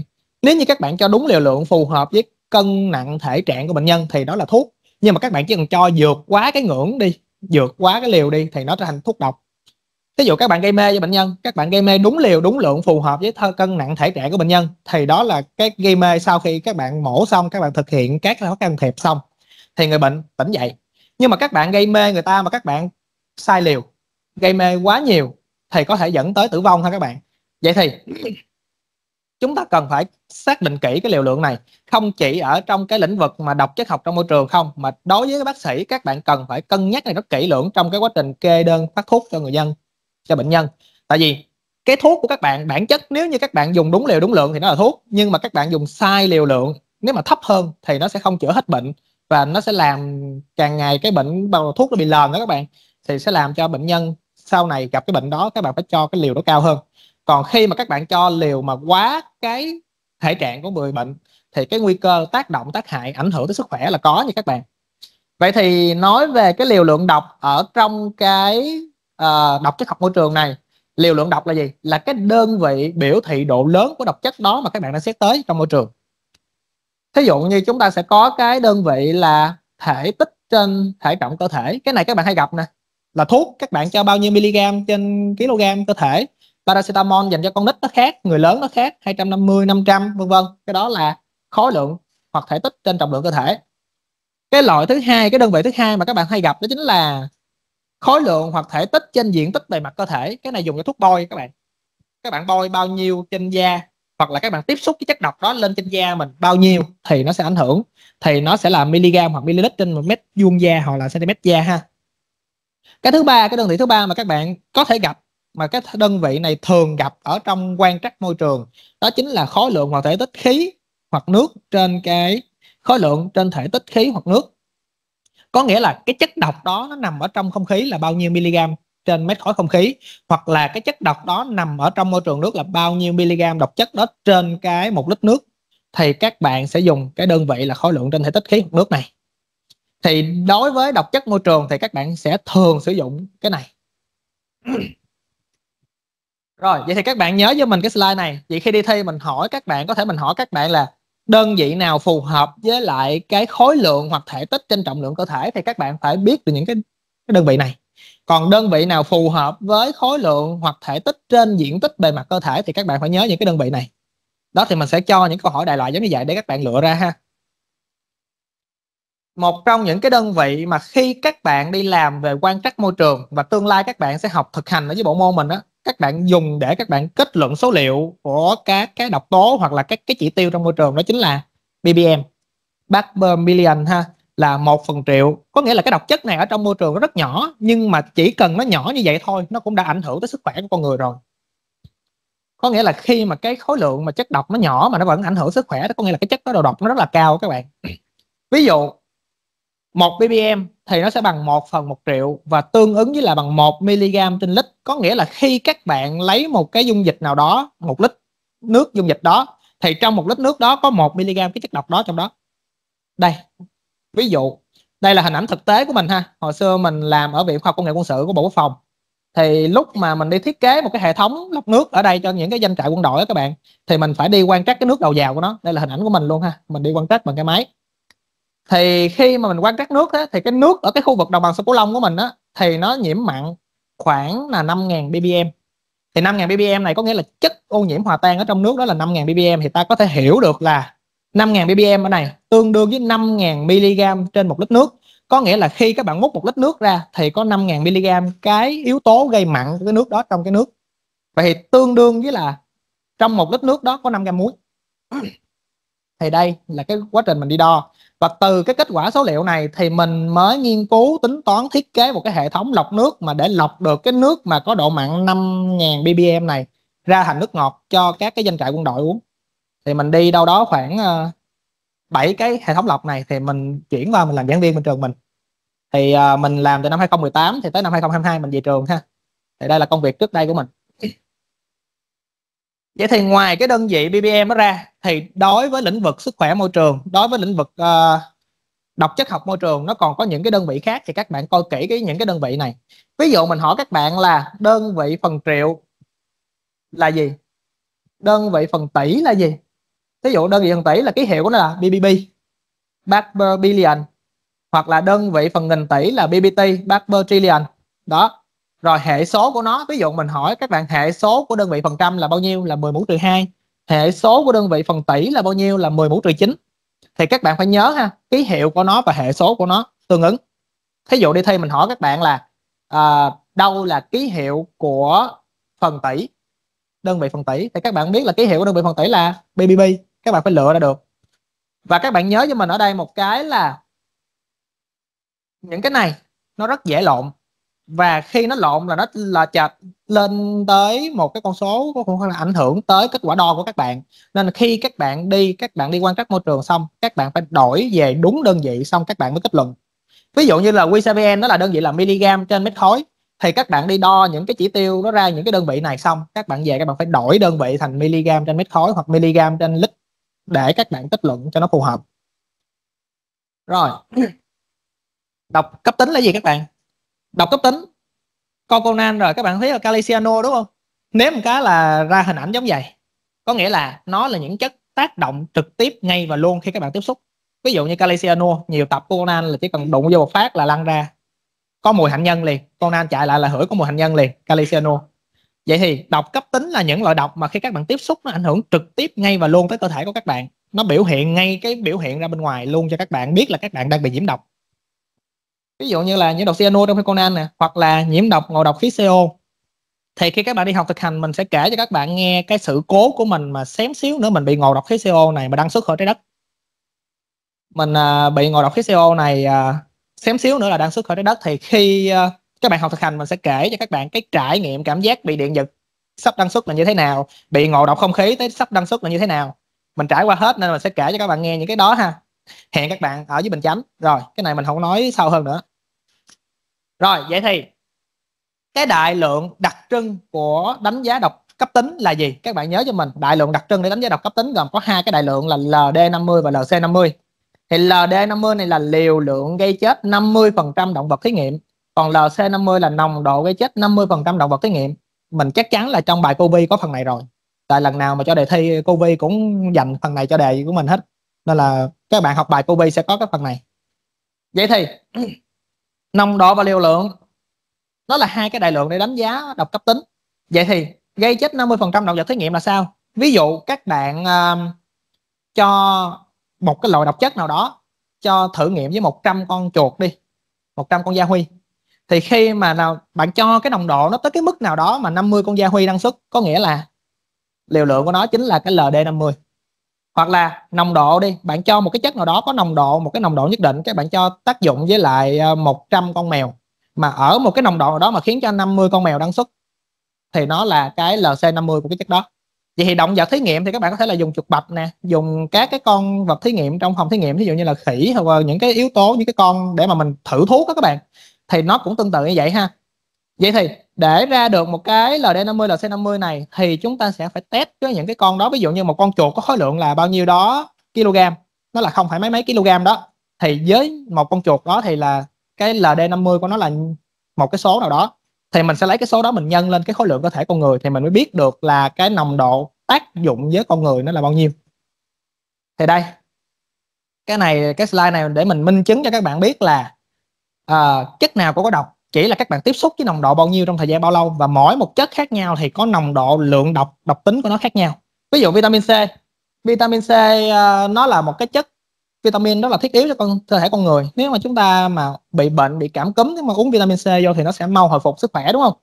Nhưng mà nếu như các bạn uống một cái liều lượng quá cao thì nó trở thành độc tố nó sẽ gây ảnh hưởng đến sức khỏe của con người. Ví dụ như là LD50 của cái vitamin C này so với con chuột là 11.900 Vậy thì 11.900 này, nếu mà chúng ta nhân với khối lượng cơ thể con người, nếu mà chúng ta uống một cái lượng vitamin C tương ứng, thì con người mình sẽ bị độc tố của vitamin C này, gây ảnh hưởng tới sức khỏe trực tiếp. Thì đó là cái liều lượng cấp tính ha. thì đây là cái hình ảnh biểu đồ khi các bạn nghiên cứu cái liều lượng của một cái chất nào đó với lại các động vật thí nghiệm thì các bạn sẽ, đây là phần trăm các cái động vật thí nghiệm mà đã tử vong còn đây là cái liều lượng mà các bạn cho. Thì các bạn thấy các bạn cho cái liều lượng nó tăng lên tăng lên tăng lên. Tới một cái mức nào đó mà khi các bạn giống qua bên đây, làm chết 50% đối tượng thí nghiệm, thì đó chính là cái LD hoặc cái LC50 của cái chất đó. Rồi, tương tự vậy thì chúng ta sẽ xét tới độc mãn tính. Thì độc mãn tính nó khác độc cấp tính chỗ nào? Độc cấp tính là các bạn tiếp xúc với nó là các bạn sẽ có những cái biểu hiện nhiễm độc và có thể là năng suất ngay lập tức. Còn độc mãn tính là các bạn tiếp xúc với chất đó cơ thể các bạn bị nhiễm độc, nhưng các bạn không hề biết các bạn đang nhiễm độc. Nó sẽ âm thầm từ năm này qua năm nọ, từ tháng này qua tháng nọ, tới khi mà nó biểu hiện triệu chứng ở bên ngoài thì có nghĩa là các bạn đã sắp có nguy cơ bệnh rất nặng rồi. Có nghĩa là khi nó biểu hiện ra bên ngoài, có nghĩa là cái cơ thể các bạn đã hết cái khả năng chống đỡ được những cái yếu tố rồi. Có nghĩa là cơ thể các bạn nó đã yếu lắm rồi, thì nó mới thì biểu hiện ra bên ngoài ha. Rồi, vậy thì để mà xét tới cái độc mãn tính này, các bạn phải xét tới cái bảng này. Và cái bảng này là cái bảng mà năm nào mình cho đi thi thì đa phần các bạn đều làm sai ha tại nó toàn chữ viết tắt thôi. Thì đại lượng độc mãn tính thì nó sẽ là cái đại lượng MATC này. Mà MATC này là nồng độ gây độc cực đại mà cơ thể có thể chấp nhận được. Có nghĩa là dưới cái nồng độ này là, vô cái nồng độ này là mình đã bị nhiễm độc rồi đó. Nhưng mà cơ thể chấp nhận được, có nghĩa là mình bị nhiễm độc nhưng mà nó chưa biểu hiện ra bên ngoài có nghĩa là cơ thể mình à ok mình biết nó là cơ thể mình đang bị nhiễm độc nhưng mà mình không hề nào mình biết là mình đang bị nhiễm độc như thế nào hết có nghĩa là các cái bộ phận trong cơ thể các bạn đã bị nhiễm độc rồi nhưng mà nó chưa biểu hiện ra bên ngoài thì nó nằm ở MATC này thì trong đây nó sẽ có bốn cái đại lượng kèm theo là LOL, NOL, LOEC và NOEC. Vậy thì LOL là liều lượng thấp nhất cơ thể quan sát thấy biểu hiện nhiễm độc. NOL là liều lượng cao nhất không quan sát thấy ảnh hưởng nhiễm độc. Tương tự như vậy LOEC và NOEC thì nó thay là thành là nồng độ. Thì các bạn nhớ với mình, trong cái slide này thì các bạn nhớ cho mình cái thứ tự của cái phân bố ha NOEC sẽ bé hơn, cái nồng độ nó sẽ bé hơn MATC và nó sẽ bé hơn LOEC tương tự vậy thì NOL sẽ bé hơn MATC và bé hơn LOL thì khi mình hỏi cái sắp xếp nào là phù hợp thì các bạn phải nhớ cái thứ tự này. Có thể mình đảo ngược lại, mình cho cái dấu lớn thì nó phải đảo ngược lại. Các bạn nhớ cho mình cái này. Vậy thì để hiểu rõ cái nội dung này thì các bạn sẽ xem cái phần này. Bây giờ các bạn lấy giấy ra, các bạn thử hình dung cái slide này mình đang muốn nói cái gì. Ý nghĩa của nó như thế nào, các bạn ghi ra giấy, các bạn ghi tên với lại mã số sinh viên của các bạn nộp lại cho mình ha. Các bạn sẽ có 10 phút để các bạn ghi ghi cái ý của cái slide này ra cho mình rồi nộp lại bài cho mình. Làm giấy ha 10 phút nha các bạn. Coi ý nghĩa của cái này là như thế nào ha? Thì mình gợi ý cho các bạn, thì các bạn nào có học về triết học hoặc là học về ờ, về triết đó các bạn, thì các bạn sẽ có cái khái niệm là gì? Điểm nút, chất và lượng. Có nghĩa là khi mà lượng thay đổi tới một cái điểm nút nào đó thì nó sẽ từ, cái chất thay đổi tới một cái lượng đó sẽ nó sẽ chuyển từ chất này qua chất kia, lượng này qua lượng kia đó các bạn. Điểm nút nè nó sẽ thay đổi, nhảy qua, bước nhảy thì cái này trong khái niệm về triết các bạn sẽ dùng cái này để các bạn để trả lời cái phần này ha vậy thì cái mục đích của cái slide này là gì ý là mình muốn hỏi các bạn là ý nghĩa hiểu, các bạn hiểu như thế nào về cái slide này rồi, giờ mình sẽ phân tích cái hình này cho các bạn ha. Thì bây giờ mình sẽ lấy cái khái niệm của triết để mình phân tích cái này. Triết học là môn khoa học của mọi môn khoa học, nên là mình sẽ lấy triết mình phân tích ha. Ở đây có một cái timeline có nghĩa là khi các bạn tiếp xúc với một cái chất nào đó với một cái nồng độ, cái nồng độ sẽ chạy từ không cho tới cái ngưỡng cực đại của nó. Thì khi mà nó qua một cái ngưỡng mà ở cái ngưỡng này á, các bạn không thấy ảnh hưởng có nghĩa là sao? Nó nó chưa tới cái NOEC này là nồng độ cao nhất mà có thể quan sát thấy ảnh hưởng có nghĩa là dưới cái nồng độ này là cơ thể các bạn không bị tác động gì hết có nghĩa là bạn tiếp xúc với chất đó chất đó là chất độc, nhưng cái nồng độ của nó quá nhỏ không ảnh hưởng tới các bạn. Ví dụ, hồi xưa mình làm bể cái gì, cái thủy ngân, xong mình chơi với cái thủy ngân của nó. Mà các bạn biết là thủy ngân thì nó có khả năng gây ảnh hưởng tới sức khỏe con người, ảnh hưởng tới hệ thống sinh sản của nam giới, ảnh hưởng ngộ độc, kim loại nặng, vân vân vân vân. Nhưng mà mình bể có cái thủy ngân thôi, mình chơi với thủy ngân cho đó thì nồng độ với liều lượng thủy ngân nó chưa đủ để ảnh hưởng tới sức khỏe của mình. Có nghĩa là nó dưới cái ngưỡng NOEC này. Vậy có nghĩa là đây là cái nồng độ cao nhất mà cơ thể các bạn không bị ảnh hưởng. Có nghĩa là khi các bạn tiếp xúc với cái chất đó dưới cái nồng độ này và tới cái nồng độ này thì cơ thể các bạn chưa bị ảnh hưởng. Vậy thì tới qua cái ngưỡng NOEC này thì lúc đó cơ thể các bạn đã bị ảnh hưởng. Và trong cái khoảng này nè, các bạn là MITC nè, là cái khoảng này cơ thể các bạn bị ảnh hưởng, nhưng mà nó vẫn đáp ứng được, nó vẫn chịu đựng được với lại cái nồng độ đó nó ảnh hưởng rồi, nó tác động tới gan, tới thận, tới các yếu tố khác trong cơ thể các bạn. Nhưng mà lúc đó các bạn chưa phát hiện ra được là mình đang bị nhiễm độc. Nó chưa có bất kỳ một cái biểu hiện nào hết, thì nó nằm ở MAEC này. MATC này. Có nghĩa là đây là cái nồng độ cơ thể các bạn đã bị ảnh hưởng, nhưng nó không có biểu hiện. Rồi, khi các bạn tới cái LOEC này, là có nghĩa là đây là cái nồng độ thấp nhất cơ thể các bạn có thể quan sát được cái biểu hiện. Có nghĩa là từ cái khu vực này qua khu vực này rồi có nghĩa là khi các bạn qua cái ngưỡng LOEC này đây là cái ngưỡng mà bắt đầu cơ thể nó có biểu hiện. Có nghĩa là một chất nó có thể là vừa có tính chất mãn tính mà vừa có tính chất cấp tính luôn. Có nghĩa là nếu các bạn tiếp xúc với cái chất đó nhưng mà ở trong cái thời gian dài và cái, cái liều lượng nó nhỏ thì nó sẽ ảnh hưởng mãn tính tới sức khỏe các bạn. Còn nếu như các bạn cũng tiếp xúc với cái chất đó nhưng mà liều lượng nồng độ nó quá cao tới cái mức mà nó gây hại trực tiếp và khi bạn tiếp xúc vô là nó biểu hiện ra bên ngoài luôn thì nó sẽ nằm ở trong cái khu vực này qua cái ngưỡng này là các bạn bắt đầu có biểu hiện. Mình lấy ví dụ, hút thuốc lá, một ngày các bạn hút một điếu thuốc, một ngày các bạn hút một bao thuốc. Nhưng mà ngay tại cái thời điểm mà hút một bao thuốc đó, cơ thể các bạn chưa có bất kỳ cái biểu hiện nào hết. 10 năm 20 năm sau, các bạn sẽ bị ho về đêm, có đàm, thở khò khè. Rồi những cái triệu chứng khác bắt đầu nó biểu hiện lên. Là lúc đó là cái ngưỡng nồng độ tích lũy những cái chất độc ở trong cơ thể các bạn, nó đã vượt qua cái LOC này, bắt đầu nó sẽ có ho về đêm, khó thở, có đàm, vân vân. Thì nó đã biểu hiện ra bên ngoài và lúc đó là các bạn đã có những cái biểu hiện để biết là thuốc lá nó tác động tới các bạn rồi. Còn hai chục năm về trước các bạn cứ hút thôi và cũng không có ho, cũng không có vấn đề gì hết thì các bạn nghĩ là nó chưa có ảnh hưởng. Nhưng thực chất là lúc đó là cơ thể các bạn đã tiếp nhận cái độc chất ở trong người rồi.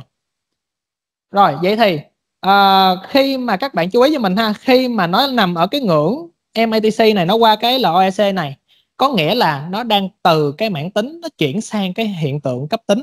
Có nghĩa là nếu như cái nồng độ của chất này nó nhiều nó đủ và nó đủ nồng độ thì nó sẽ biểu hiện ra cơ thể các bạn biết là các bạn đang bị nhiễm độc luôn. À, ví dụ à, cái à, thuốc lá đi có nicotine đúng không các bạn? Nếu mà các bạn tiếp xúc với nicotine một cái nồng độ quá cao thì các bạn sẽ bị ngộ độc ngay lập tức luôn chứ không có cần phải đợi sang 20 năm 30 năm gì á thay vì các bạn hút thuốc lá mỗi một điếu thuốc nó có một ít nicotine thôi thì các bạn hút được trong 10 năm 20 năm 30 năm sau bắt đầu mới có biểu hiện. Còn các bạn mà tiếp xúc với nồng độ nicotine nhiều mà ngay tại cái thời điểm các bạn tiếp xúc đó mà cái nồng độ nó quá cao thì các bạn sẽ bị ngộ độc ngay lập tức luôn. Rồi à, giống như các bạn coi những cái bộ phim Trung Quốc đó các bạn là những cái uh, hoàng hậu mà ngâm thủy ngân vô những trái táo tàu á cho rồi quý phi cho hoàng hậu ăn rồi trong thời gian bao lâu bao lâu đó bắt đầu cơ thể bắt đầu mới ảnh hưởng suy nhược từ từ sảy thai vân vân vân á. Thì nó cũng theo cái quy luật của cái MTC này ha. Rồi vậy thì nãy mình nói với các bạn là giữa độc cấp tính và độc mãn tính nó có một cái mối liên hệ với nhau. Thì cái AF này là cái đơn vị cái yếu tố để đánh giá cái mối quan hệ giữa độc cấp tính và độc mãn tính. Có nghĩa là một chất nếu các bạn tiếp xúc ít nồng độ không đủ nhiều trong thời gian lâu thì nó sẽ tác động mãn tính tới cơ thể các bạn. Nhưng mà cũng cái chất đó các bạn tiếp xúc với nồng độ đủ cao trong thời gian cũng lâu thì nó sẽ ảnh hưởng tới sức khỏe các bạn ngay và luôn. Thí dụ như là một cái chất nữa, mình ví dụ đó, nicotine các bạn tiếp xúc một cái lượng rất nhiều ngay là tại cái thời điểm mà tiếp xúc là cơ thể các bạn sẽ bị nhiễm độc liền. Ví dụ như là những cái người làm ở trong nhà máy cao su cũng vậy. Hồi xưa trường mình có tổ chức cái sinh viên đi tham quan nhà máy cao su thì những cái bạn mà nữ các bạn là cái yếu tố là thể chất thể trạng nó không có tốt là các bạn nam. Thì khi bước chân vô nhà máy cao su đó bị sốc cái mùi lưu huỳnh ở trong cái cái nhà máy cao su đó thì các bạn bị xỉu. Thì các bạn học hóa các bạn biết rồi. Cao su mà muốn cho nó bền nó chắc nó nó nó nó nó, nó gọi là nó bền với thời gian thì mình sẽ phải làm cao su lưu hóa đúng không? Cao su lưu hóa là cho nó tác dụng với lưu huỳnh. Thì phải thêm lưu huỳnh vô để nó tăng cái độ bền cho cao su. Thì các bạn nữ trong cái trường mình thì bị sốc cái mùi của lưu huỳnh đó các bạn xỉu vậy thì cái đó là cấp tính. Nhưng mà những người công nhân ở cái nhà máy cao su đó, ngày nào cũng hít nhưng mà cái cơ thể của họ vẫn không có bị, gọi là, xỉu tại chỗ. Nhưng mà năm vài tháng nọ thì họ sẽ bắt đầu có những yếu tố ảnh hưởng tới sức khỏe của cơ thể. Thì đó là cái mối quan hệ giữa độc cấp tính và độc mãn tính ha. Phân loại độc chất thì các bạn nhớ cho mình, có rất nhiều cái cách để phân loại độc chất. Rồi, bây giờ mình sẽ xét tới độc chất mà mình phân loại dựa trên cái bản chất của nó thì các bạn biết, nếu mà dựa vào bản chất thì chúng ta sẽ chia thành hai loại. Các bạn nhớ cho mình ha. Phân loại độc chất dựa trên bản chất thì chúng ta sẽ chia độc chất thành hai loại. Đó là độc chất sơ cấp và độc chất thứ cấp. Nói một cách dễ hiểu, độc chất sơ cấp là những cái chất đó, bản thân chất đó là có tính độc. Nó ảnh hưởng trực tiếp tới sức khỏe. Có nghĩa là chất đó nó có thể gây ảnh hưởng tới sức khỏe, nó gọi là độc chất sơ cấp. Còn độc chất thứ cấp là sao? Độc chất thứ cấp là cái chất đó nó không có gây ảnh hưởng tới sức khỏe hoặc là cái sự ảnh hưởng đó nó rất là ít. Nhưng mà qua quá trình biến đổi ở trong cái môi trường, nó tạo thành một cái chất rất độc và nó có thể gây ra bệnh cho con người. Thì nó là độc chất thứ cấp. Ví dụ như trihalomethan này, ở dưới đồng bằng sông Cửu Long đó các bạn, lúc mà mình đi làm cái hệ thống lọc nước ở dưới đó thì cái vấn đề này rất là nhiều. Có nghĩa là khi người ta lọc nước nhưng mà người ta lọc không có kỹ và những cái nước đó nó vẫn còn chứa các cái chất hữu cơ thì nước nó chưa có sạch được hết những cái chất hữu cơ đó mà người dân ở đồng bằng sông Cửu Long lại sụp cái clo vô để khử trùng. Thì chính cái chất hữu cơ nó tác dụng với clo đó nó sẽ tạo ra trihalomethan và cái chất này là một trong những cái chất gây ung thư.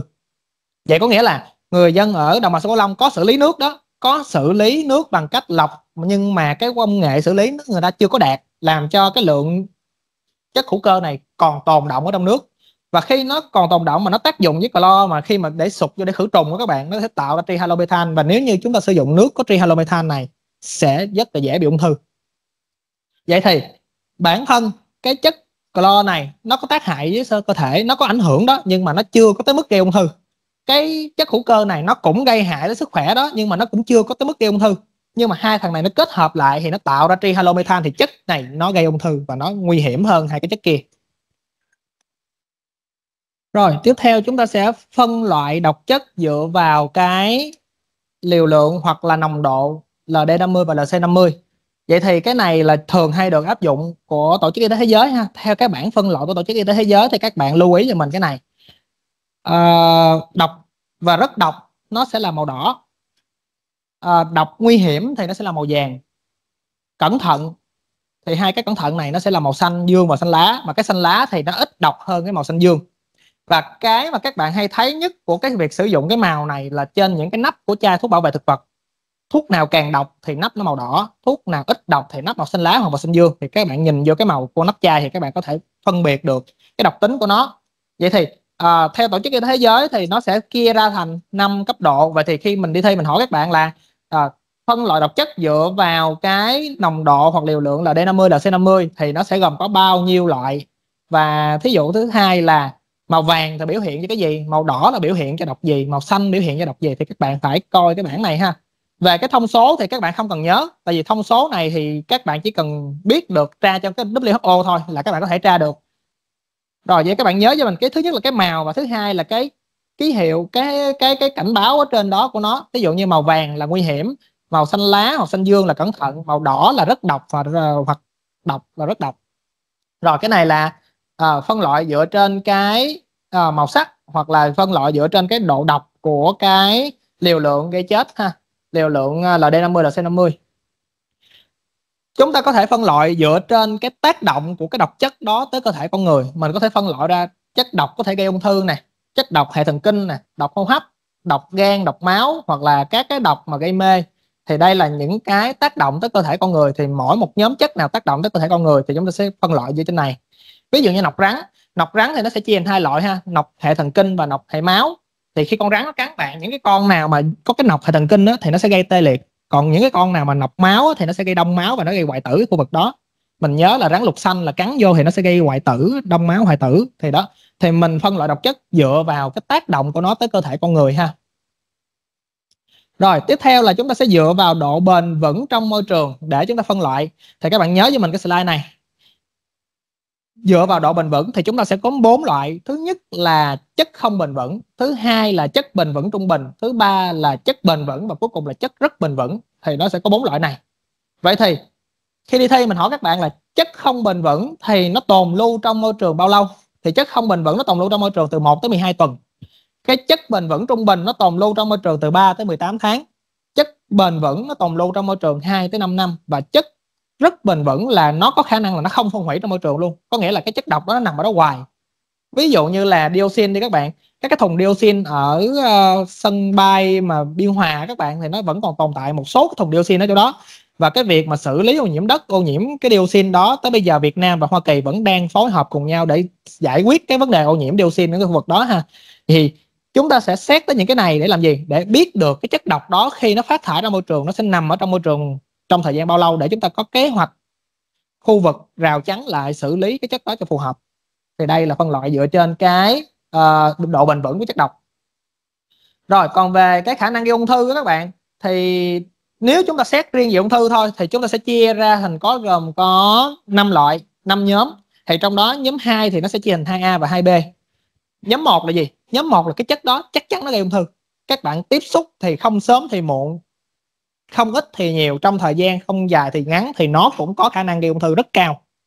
Là những cái chất ví dụ như các bạn hút thuốc lá, thì không phải ai hút thuốc lá cũng gây bị ung thư, nhưng mà cái nguy cơ hút thuốc lá bị ung thư nó cao và nó đã được chứng minh bởi những cái nghiên cứu khoa học rồi. Và có rất nhiều nghiên cứu để chứng minh được hút thuốc lá gây ung thư. Hoặc là các bạn tiếp xúc với tia UV của ánh nắng mặt trời, thì các bạn tiếp xúc vô thì không phải ai tiếp xúc với ánh nắng mặt trời, nhiều cũng bị ung thư nhưng mà đã có nhiều bằng chứng nghiên cứu chứng minh được rằng tiếp xúc với tia UV trong ánh nắng mặt trời là gây ung thư da và đã có cơ sở khoa học rồi ha. Rồi cái nhóm 2A này là gì? Nhóm 2A này là những cái chất mà có khả năng gây ung thư cho con người và bắt đầu có những cái bằng chứng khoa học cụ thể để chứng minh nó gây ung thư cho con người nhưng mà nó chưa có rõ ràng bằng cái nhóm 1 nên là nó được liệt vào cái nhóm 2A ví dụ như là uh, các cái loại thuốc nhuộm nè thuốc nhuộm tóc nè thuốc mà để uống nhuộm duỗi tóc nè nó cũng có khả năng gây ung thư ha hoặc là những cái yếu tố trong môi trường. Rồi cái nhóm 2B này là gì? Nhóm 2B này là nhóm có khả năng gây ung thư cho cơ thể con người. Nhưng mà cái khả năng gây ung thư này á, là người ta nghiên cứu nhưng mà nó chưa có đầy đủ nó chưa được đầy đủ cơ sở khoa học hoàn toàn nên là người ta liệt vào nhóm 2B ví dụ như là uống cà phê có khả năng gây ung thư thì có khả năng đó. Nhưng mà nó chưa có rõ ràng hoặc là người ta làm thí nghiệm trên các động vật đi thì nó gây ung thư cho động vật. Nhưng mà cái quá trình gây ung thư cái cơ chế gây ung thư cho động vật nó khác với cơ chế gây ung thư cho người nên là người ta mới liệt vào cái nhóm 2B này. Thì nó có thể như là cà phê nè, hoặc là ăn các cái đồ mà ngâm chua, thí dụ như là dưa muối nữa các bạn. Rồi, cái nhóm 3 này là gì? Nhóm 3A này là nhóm mà có khả năng gây ung thư cho con người, nhưng mà chưa có đầy đủ bằng chứng khoa học để chứng minh. Và đây chỉ là mới là những cái giả thiết thôi. Thí dụ như là người ta nói uống trà có nguy cơ gây ung thư. Nhưng mà cái đó là nguy cơ thôi, nhưng mà người ta chưa chứng minh được uống trà nó có khả năng gây ung thư. Thì người ta sẽ liệt vô đây. Ví dụ như trà nè sử dụng túi ni lông nè, hoặc là ngồi à, dưới ánh sáng của đèn huỳnh quang này, nó cũng được liệt vô cái nhóm 3 này. Đó. Vậy thì có những cái này, hồi xưa tới giờ các bạn sống trong nhà sử dụng đèn huỳnh quang rồi, nhưng mà đâu phải là ai sử dụng đèn huỳnh quang gây ung thư đâu, và nó cũng chưa có bằng chứng khoa học cụ thể nào chứng minh được là sử dụng bóng đèn huỳnh quang gây ung thư, nên là nó được liệt vô nhóm 3 này.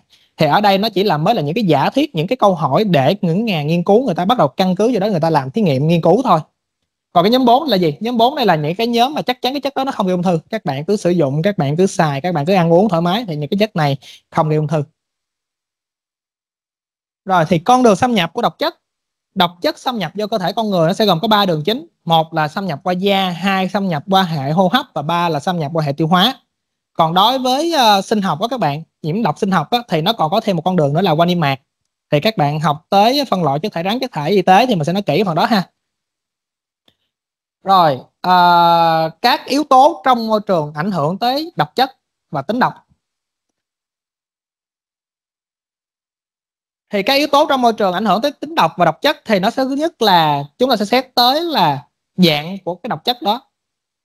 Thì các bạn biết thủy ngân nó độc rồi nhưng mà các bạn uh, thủy ngân đó các bạn nếu như mà các bạn tiếp xúc với lại cái dạng lỏng đó nè nó khả năng nó bay hơi và các bạn hít vô thì các bạn có thể bị nhiễm độc cái kim loại nặng.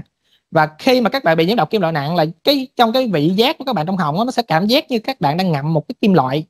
Giống như ở nhà các bạn nào có cái muỗng nhôm á mà cái muỗng nhôm của ngày xưa các bạn các bạn ngậm vô thì nó cái vị đắng đắng lạnh lạnh của kim loại thì trong cái họng của các bạn nếu như bị nhiễm độc kim loại thì cái họng các bạn sẽ có cái vị kim loại đó.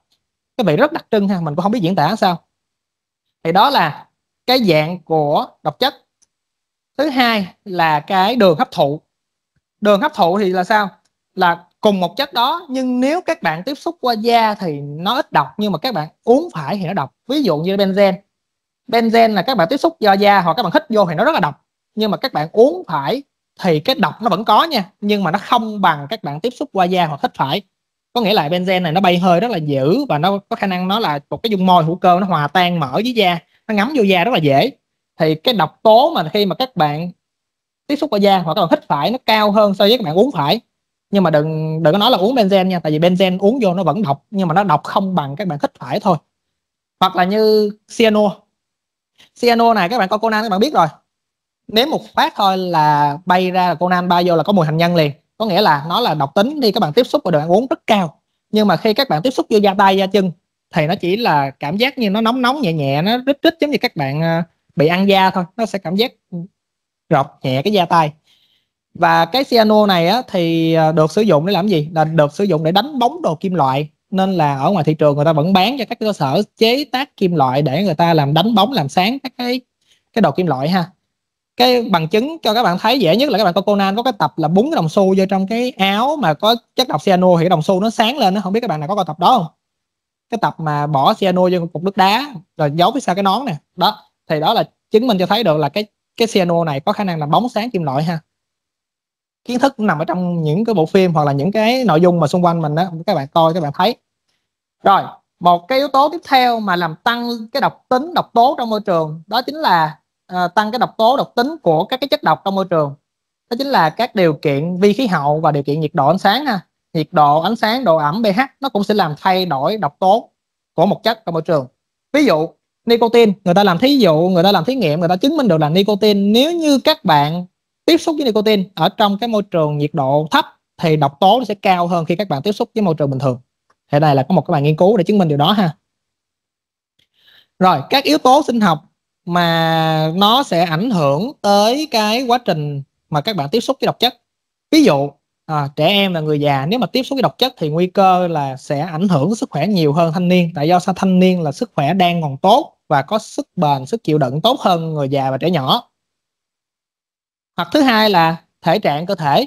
Thể trạng cơ thể nếu như mà một cái người mà có thể trạng tốt sức khỏe đầy đủ thì khả năng chống chọi lại với khi mà các bạn tiếp xúc với độc tố nó sẽ tốt hơn so với là những người mà ốm yếu hoặc bị béo phì ha gen và giới tính cũng là một cái yếu tố. Thì hồi nãy các bạn nhớ cái bài hồi nãy là các yếu tố mà chống đỡ của cơ thể trước các tác động của môi trường á thì nó cũng sẽ giải quyết được trả lời cho bạn cái câu hỏi về cái yếu tố trong cơ thể có khả năng giúp cho cơ thể chống lại các cái tác động.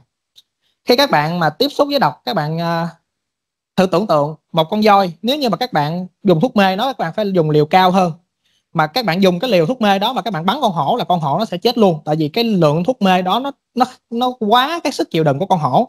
Nhưng mà các bạn dùng thuốc mê để mà các bạn bắn con hổ mà các bạn bắn con voi thì con voi nó không có không có, không xi nhê gì hết. To do là cái lượng đó nó không đủ. Thì đó cũng là một cái yếu tố giống như cơ thể con người vậy. Nên là mình nhắc các bạn ha, sau này các bạn cân đong đo đếm cho thuốc, bệnh nhân cũng vậy ha, phải căn cứ vào thể trạng, giới tính, thể trạng, sức lực hoặc là liên quan tới tuổi tác để mà cân đong đo đếm thuốc cho nó hiệu quả. Trẻ em thì cho khác, người lớn cho khác, người già cho khác, thì các bạn phải cân đong đo đếm các yếu tố này để cho thuốc nó đạt hiệu quả và nó không có tác động tới cơ thể con người ha. Rồi, cuối cùng mình lại nhắc lại một lần nữa, cái yếu tố tiên quyết mà để quyết định một chất có độc, thứ nhất là liều lượng và thứ hai là thời gian tiếp xúc. Bất cứ chất nào cũng có độc, các bạn tiếp xúc với liều lượng bao nhiêu trong thời gian bao lâu thì nó trở thành chất độc. Thì các bạn phải trả lời được câu này thì các bạn sẽ biết được là cái chất đó nó gây độc cho con người như thế nào. Rồi bây giờ mình sẽ nói về cái nhiễm độc chì vô cơ này. Chì là một cái kim loại mà hay xuất hiện trong cuộc sống của chúng ta ha. Thì à, những cái ngành công nghiệp mà tiếp xúc với chì ví dụ như luyện kim nè à, làm men gốm của các cái đồ gốm nè hoặc là sản xuất sơn nè cái nào mà càng sặc sỡ càng nhiều màu sắc thì càng nhiều chì. Thì do đó các bạn các bạn lưu ý cái này. Sau này các bạn có xây nhà các bạn có sơn nhà các bạn thì sau khi các bạn sơn nhà xong, các bạn để ít ít 2 tới 3 ngày các bạn nên mới dọn vô các bạn ở, để tránh hít phải cái hơi của cái VOC và cũng như là tiếp xúc với lại các yếu tố mà có khả năng nhiễm chì sơn ngày xưa rất nhiều chì nhưng bây giờ thì sơn bây giờ nó đã được kiểm soát cái nồng độ chì trong đó rồi, nhưng mà nó vẫn có yếu tố tác động tới sức khỏe, nên là các bạn cứ sơn nhà xong thì cứ để khoảng 2 tới 3 ngày xong mới ở, là tốt nhất. Xăng dầu cũng vậy, ngày xưa những cái người mà đổ xăng ở cây xăng đó các bạn, cái bệnh đặc trưng của họ là gì? Là bị cái đen bệnh đen xương là chì nó sẽ bám vô trong cơ thể. Khi chụp x quang nó sẽ có những cái đốm chì bám vô xương. Nhưng bây giờ, xăng bây giờ người ta đã đã loại bỏ bớt chì rồi. Người ta sẽ thêm vô những cái còn sinh học. Nên là cái việc nhiễm chì nó đã giảm bớt rồi. Ngày xưa cái bệnh đen xương đó là cái bệnh đặc trưng của những người đổ xăng ở cây xăng đó các bạn. Rồi, chì này thì các bạn lưu ý với mình ha.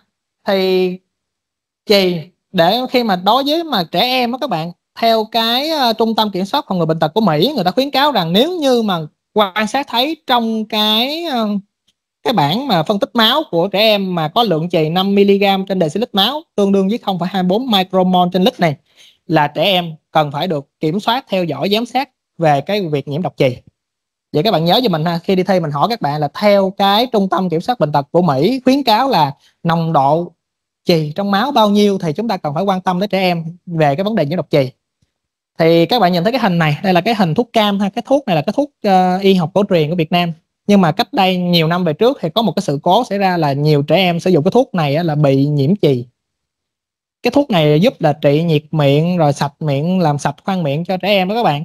Thì uh, các bạn nhìn thấy cái thuốc này và cái đợt năm đó là những cái trẻ em mà dùng cái thuốc này bị nhiễm chì do cái cơ sở sản xuất thôi. Nhưng mà các khi các bạn dùng thuốc các bạn cũng phải cẩn trọng cái vấn đề này ha có rất nhiều cái nhà thuốc, mình không có nói là nhà thuốc nào, nhưng mà rất nhiều có những cái sự kiện là những nhà thuốc người ta trộn corticoid vô trong ờ, thuốc đông y với các bạn. Xong người ta cho bệnh nhân uống, thì khi uống vô thì thấy cơ thể nó khỏe, nhưng mà sử dụng nhiều trong thời gian dài thì nó sẽ rất ảnh hưởng tới sức khỏe ha.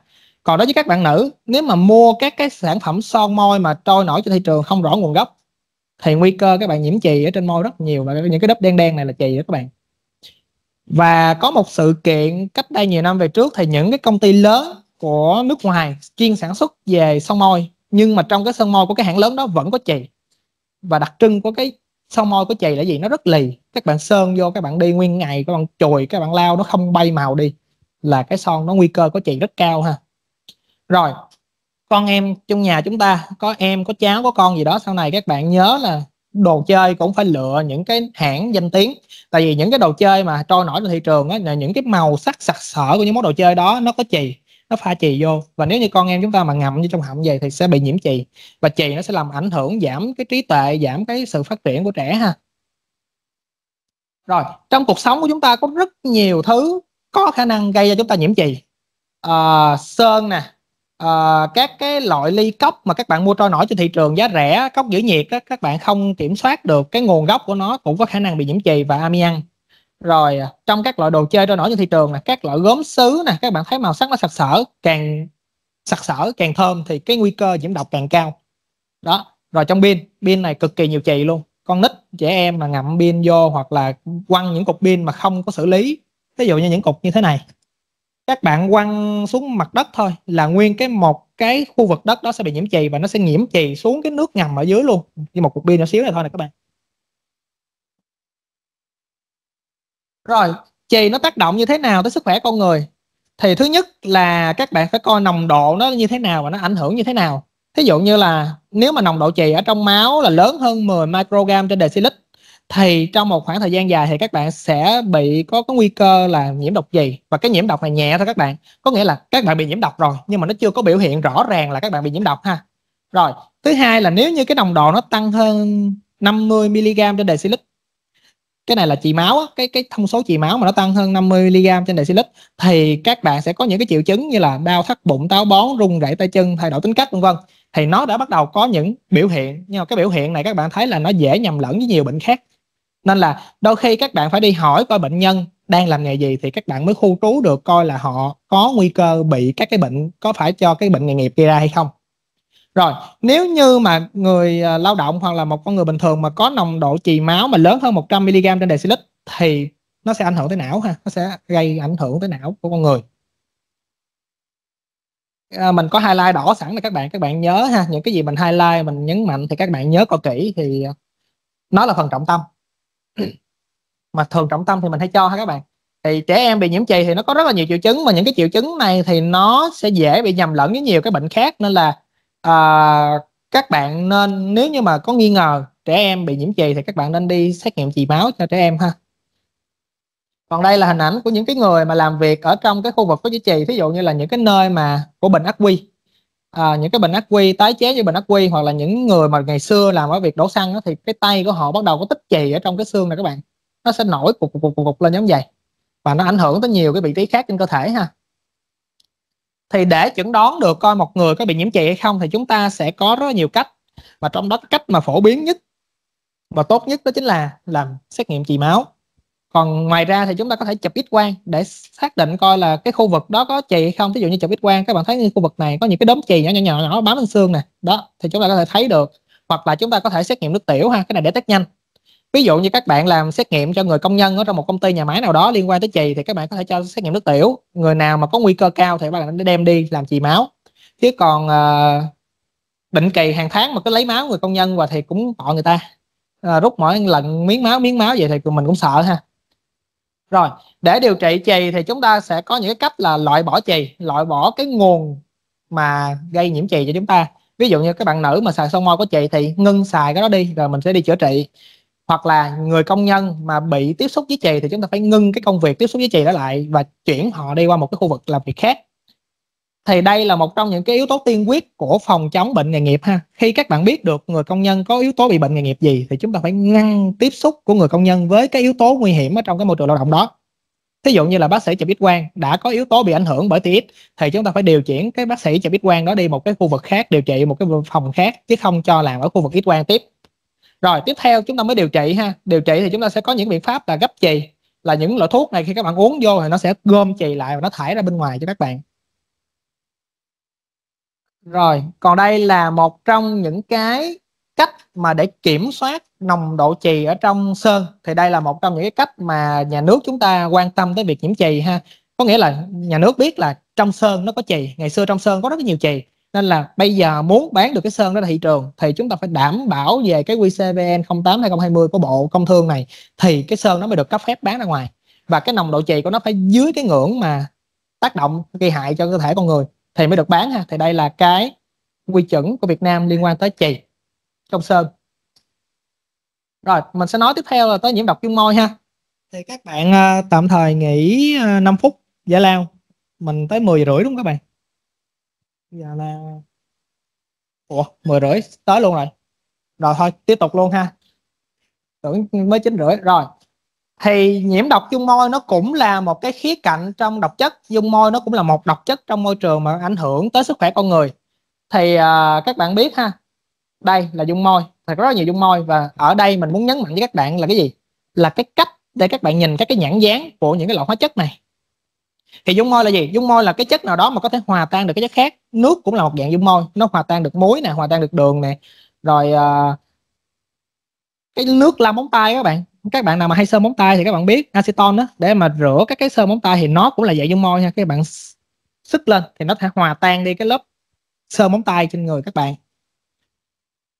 Rồi, bây giờ thì không thảo luận nó không kịp thời gian. Giờ các bạn cho mình biết cái hình đồ cảnh báo đầu tiên này cảnh báo gì các bạn? Coi kỹ mấy cái này nha. Khi đi thi mình sẽ cho cái hình đồ cảnh báo mình sẽ hỏi cái hình đồ cảnh báo đó mang ý nghĩa gì?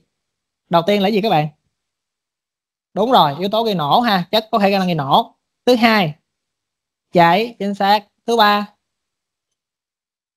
nó cũng cháy đúng không? Nó cũng có lửa nè. Nhưng mà nó khác cái chỗ này. Nó nó có một cái chữ o. Cái này là chất oxy hóa. Rồi. Cái hình này là gì các bạn? Có chất nào mà chất gọi là chất độc rượu không? Đây là bình khí nén có nghĩa là khi ở trên cái các cái lọ hóa chất hoặc cái bình hóa chất thì nó dán cái này có nghĩa là cái bình đó có khả năng khí nén. Ví dụ như là à, các cái lọ thuốc mê của các bạn các bạn người ta nén vô dạng lỏng vô thành khí và thành dạng lỏng. Thì nếu như các bạn đốt cái này thì khả năng nó nổ. Hoặc là đơn giản như cái bình xịt mũi ở nhà các bạn đi các bạn xài hết rồi các bạn quăng vô lửa nó thay đổi áp suất nó cũng nổ. Thì cái đó liên quan tới bình khí nén. Nén áp suất. Rồi cái hình này là gì các bạn? Ăn mòn đúng rồi nó là chất ăn mòn. Còn hình này, chất này là chất độc. Và các bạn tiếp xúc, nó là nguy cơ các bạn đang xúc rất cao. Đây là chất độc mà độc trực tiếp luôn các bạn. Rồi, cái cái hình dưới đây là cái gì các bạn?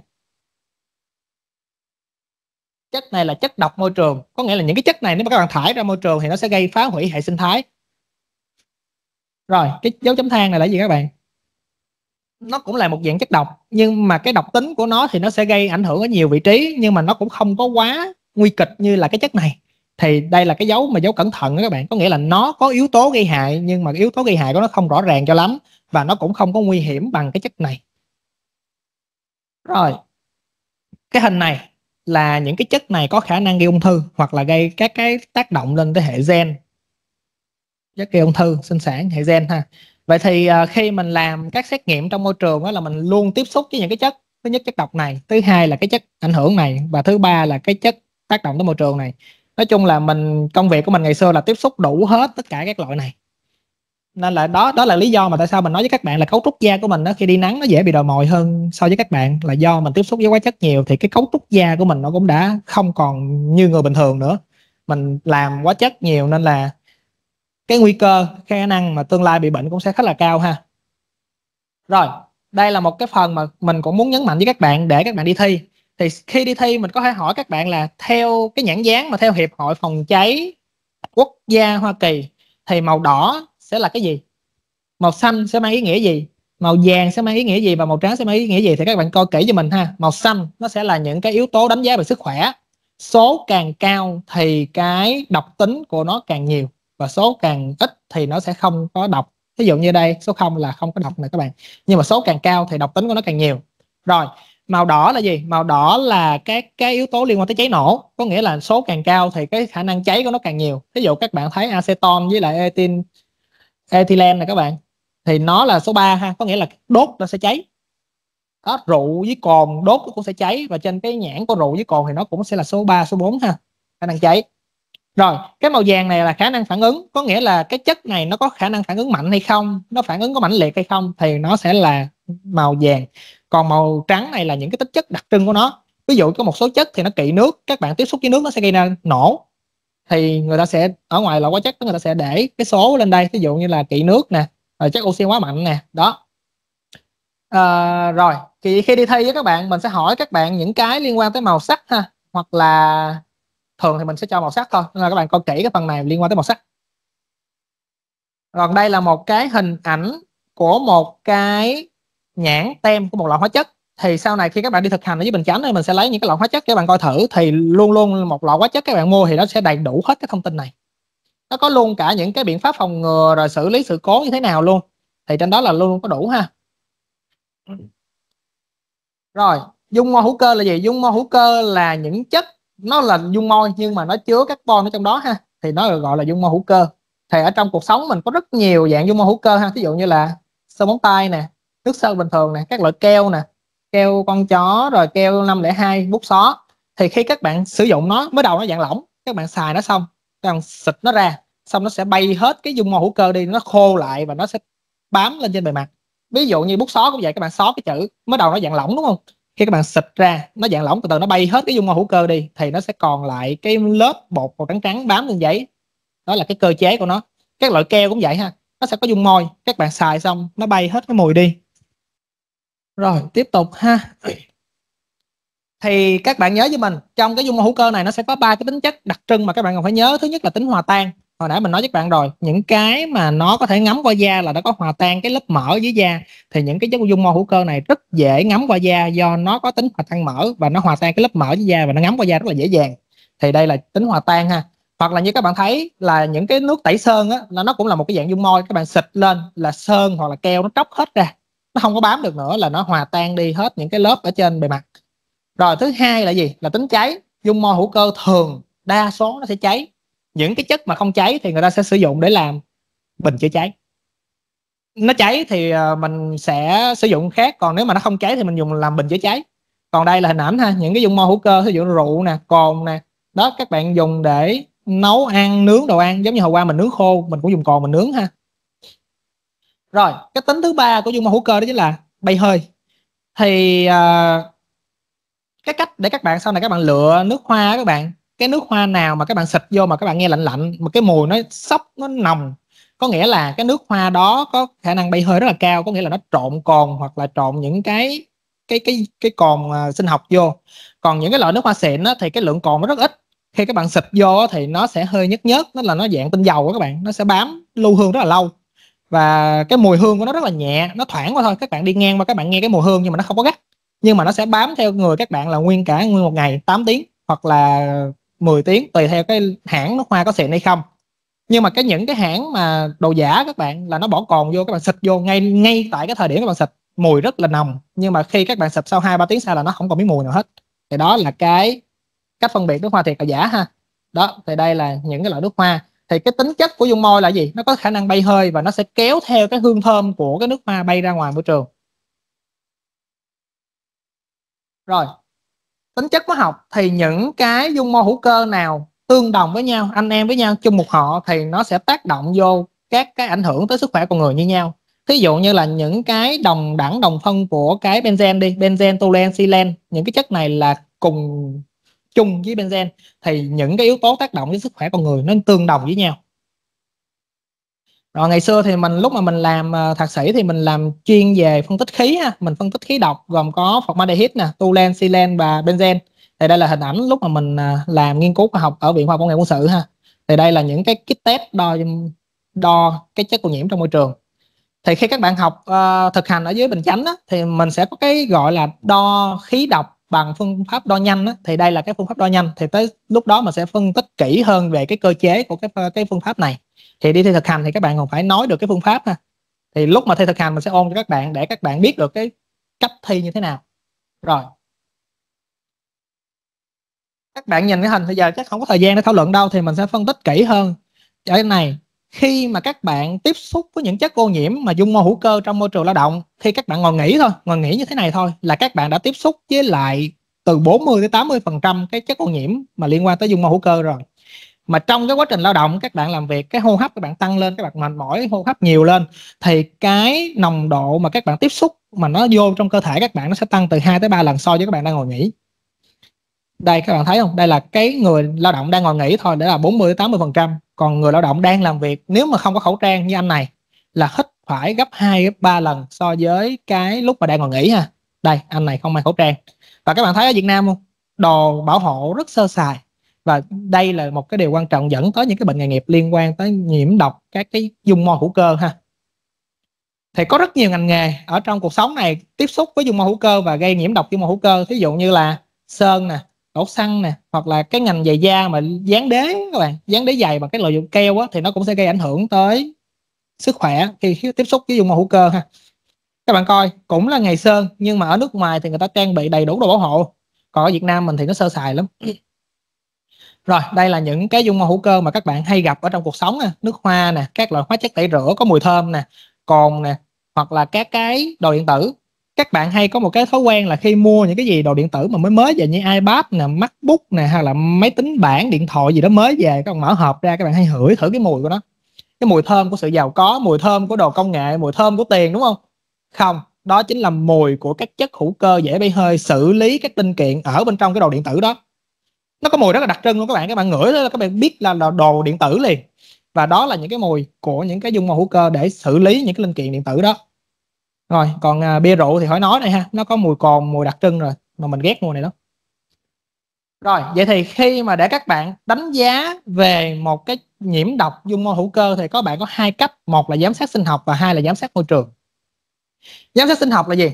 Giám sát sinh học là các bạn lấy mẫu từ người À, công nhân hoặc là từ người dân ở khu vực mà có nguy cơ bị nhiễm độc về dung môi hữu cơ, ví dụ như lấy mẫu máu, lấy mẫu nước tiểu, lấy mẫu hơi khí thở.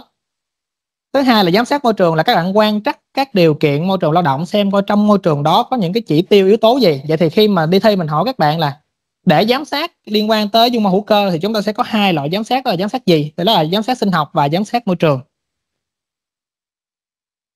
đây đây là các cái phương pháp uh, mà giám sát môi trường thì các bạn sẽ được học kỹ hơn trong cái bài thực hành ở dưới bình chánh ha. Cái này tới bình chánh thì mình sẽ dạy. Rồi giám sát sinh học.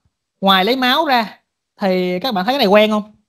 Và cứ hả các bạn đi về đi ngoài đường tầm khoảng 6 tới 7 giờ tối là các bạn bị mấy anh cảnh sát giao thông lại giám sát sinh học các bạn về nồng độ cồn liền.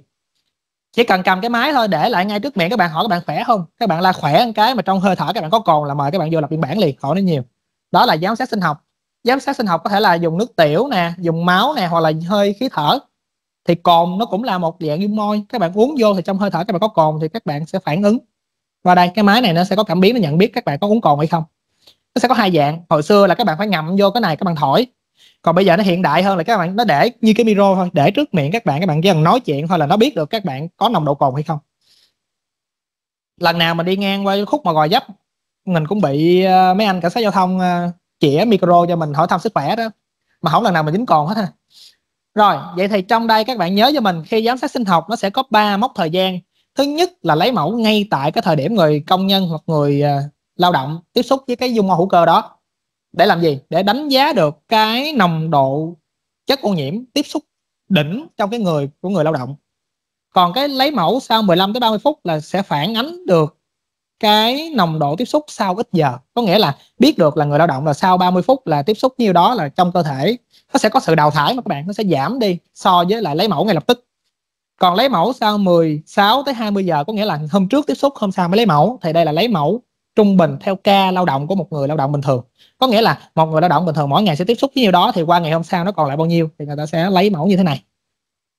Vậy thì khi mình hỏi các bạn là giám sát sinh học nó sẽ gồm có mốc thời gian là 15 tới 30 phút, nó sẽ phản ứng phản ánh điều gì thì các bạn nhớ cho mình những cái phản ánh này nha. Đó là highlight lại cho mình.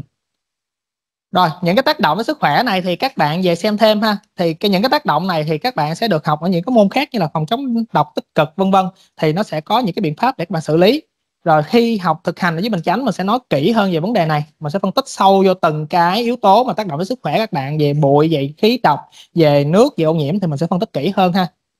Rồi. À, nội dung bài ngày hôm nay tới đây kết thúc ha các bạn. Những nội dung này mình sẽ hẹn các bạn xuống bình chánh mình sẽ phân tích kỹ hơn cho các bạn. Cảm ơn các bạn đã tham gia buổi học ngày hôm nay ha.